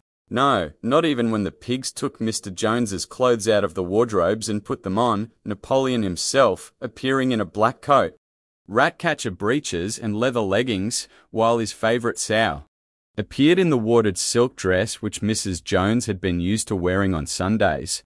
A week later, in the afternoon, a number of dog carts drove up to the farm. A deputation of neighbouring farmers had been invited to make a tour of inspection. They were shown all over the farm and expressed great admiration for everything they saw, especially the windmill. The animals were weeding the turnip field. They worked diligently, hardly raising their faces from the ground, and not knowing whether to be more frightened of the pigs or of the human visitors. That evening, loud laughter and bursts of singing came from the farmhouse. And suddenly, at the sound of the mingled voices, the animals were stricken with curiosity. What could be happening in there now that for the first time animals and human beings were meeting on terms of equality? With one accord, they began to creep as quietly as possible into the farmhouse garden. At the gate, they paused, half frightened to go on, but Clover led the way in. They tiptoed up to the house, and such animals as were tall enough peered in at the dining room window. There, round the long table, sat half a dozen farmers and half a dozen of the more eminent pigs. Napoleon himself occupying the seat of honour at the head of the table. The pigs appeared completely at ease in their chairs. The company had been enjoying a game of cards, but had broken off for the moment, evidently in order to drink a toast. A large jug was circulating, and the mugs were being refilled with beer. No one noticed the wondering faces of the animals that gazed in at the window. Mr. Pilkington of Foxwood had stood up, his mug in his hand. In a moment, he said, he would ask the present company to drink a toast. But before doing so, there were a few words that he felt it incumbent upon him to say. It was a source of great satisfaction to him, he said, and he was sure, to all others present, to feel that a long period of mistrust and misunderstanding had now come to an end. There had been a time not that he or any of the present company had shared such sentiments, but there had been a time when the respected proprietors of Animal Farm had been regarded, he would not say with hostility, but perhaps with a certain measure of misgiving by their human neighbours. Unfortunate incidents had occurred, mistaken ideas had been current. It had been felt that the existence of a farm owned and operated by pigs was somehow abnormal, and was liable to have an unsettling effect in the neighbourhood. Too many farmers had assumed, without due inquiry, that on such a farm a spirit of license and indiscipline would prevail. They had been nervous about the effects upon their own animals, or even upon their human employees. But all such doubts were now dispelled. Today, he and his friends had visited Animal Farm and inspected every inch of it with their own eyes. And what did they find? Not only the most up to date methods, but a discipline and an orderliness which should be an example to all farmers everywhere. He believed that he was right in saying that the lower animals on Animal Farm did more work and received less food than any animals in the county. Indeed, he and his fellow visitors today had observed many features which they intended to introduce on their own farms immediately. He would end his remarks, he said, by emphasizing once again the friendly feelings that subsisted, and ought to subsist, between Animal Farm and its neighbours. Between pigs and human beings there was not, and there need not be, any clash of interests whatever. Their struggles and their difficulties were one. Was not the labour problem the same everywhere? Here it became apparent that Mr. Pilkington was about to spring some carefully prepared witticism on the company, but for a moment he was too overcome by amusement to be able to utter it. After much choking, during which his various chins turned purple, he managed to get it out. If you have your lower animals to contend with, he said, we have our lower classes. This bon mot set the table in a roar. And Mr. Pilkington once again congratulated the pigs on the low rations, the long working hours, and the general absence of pampering which he had observed on Animal Farm. And now, he said finally, he would ask the company to rise to their feet and make certain that their glasses were full. Gentlemen, concluded Mr. Pilkington, gentlemen, I give you a toast to the prosperity of Animal Farm. There was enthusiastic cheering and stamping of feet. Napoleon was so gratified that he left his place and came round the table to clink his mug against Mr. Pilkington's before emptying it. When the cheering had died down, Napoleon, who had remained on his feet, intimated that he too had a few words to say. Like all of Napoleon's speeches, it was short and to the point. He too, he said, was happy that the period of misunderstanding was at an end.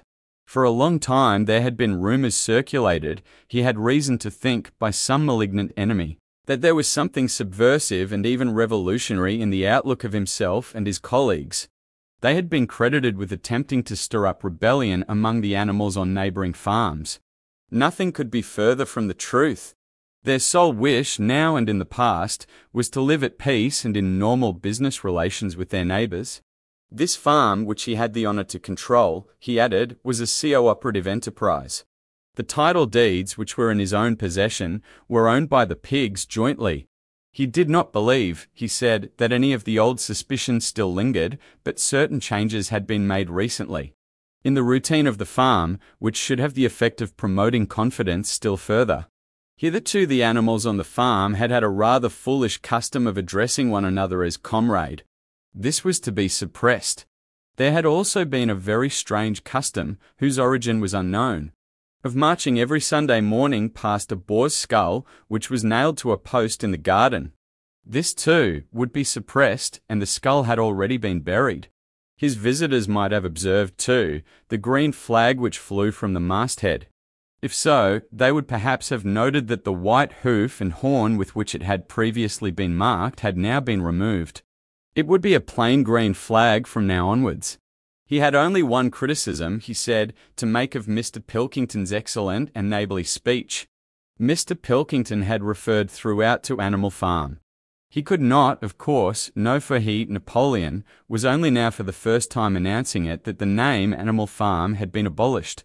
Henceforward the farm was to be known as the Manor Farm, which, he believed, was its correct and original name. Gentlemen, concluded Napoleon, I will give you the same toast as before, but in a different form. Fill your glasses to the brim. Gentlemen, here is my toast to the prosperity of the Manor Farm. There was the same hearty cheering as before, and the mugs were emptied to the dregs. But as the animals outside gazed at the scene, it seemed to them that some strange thing was happening. What was it that had altered in the faces of the pigs? Clover's old dim eyes flitted from one face to another. Some of them had five chins, some had four, some had three.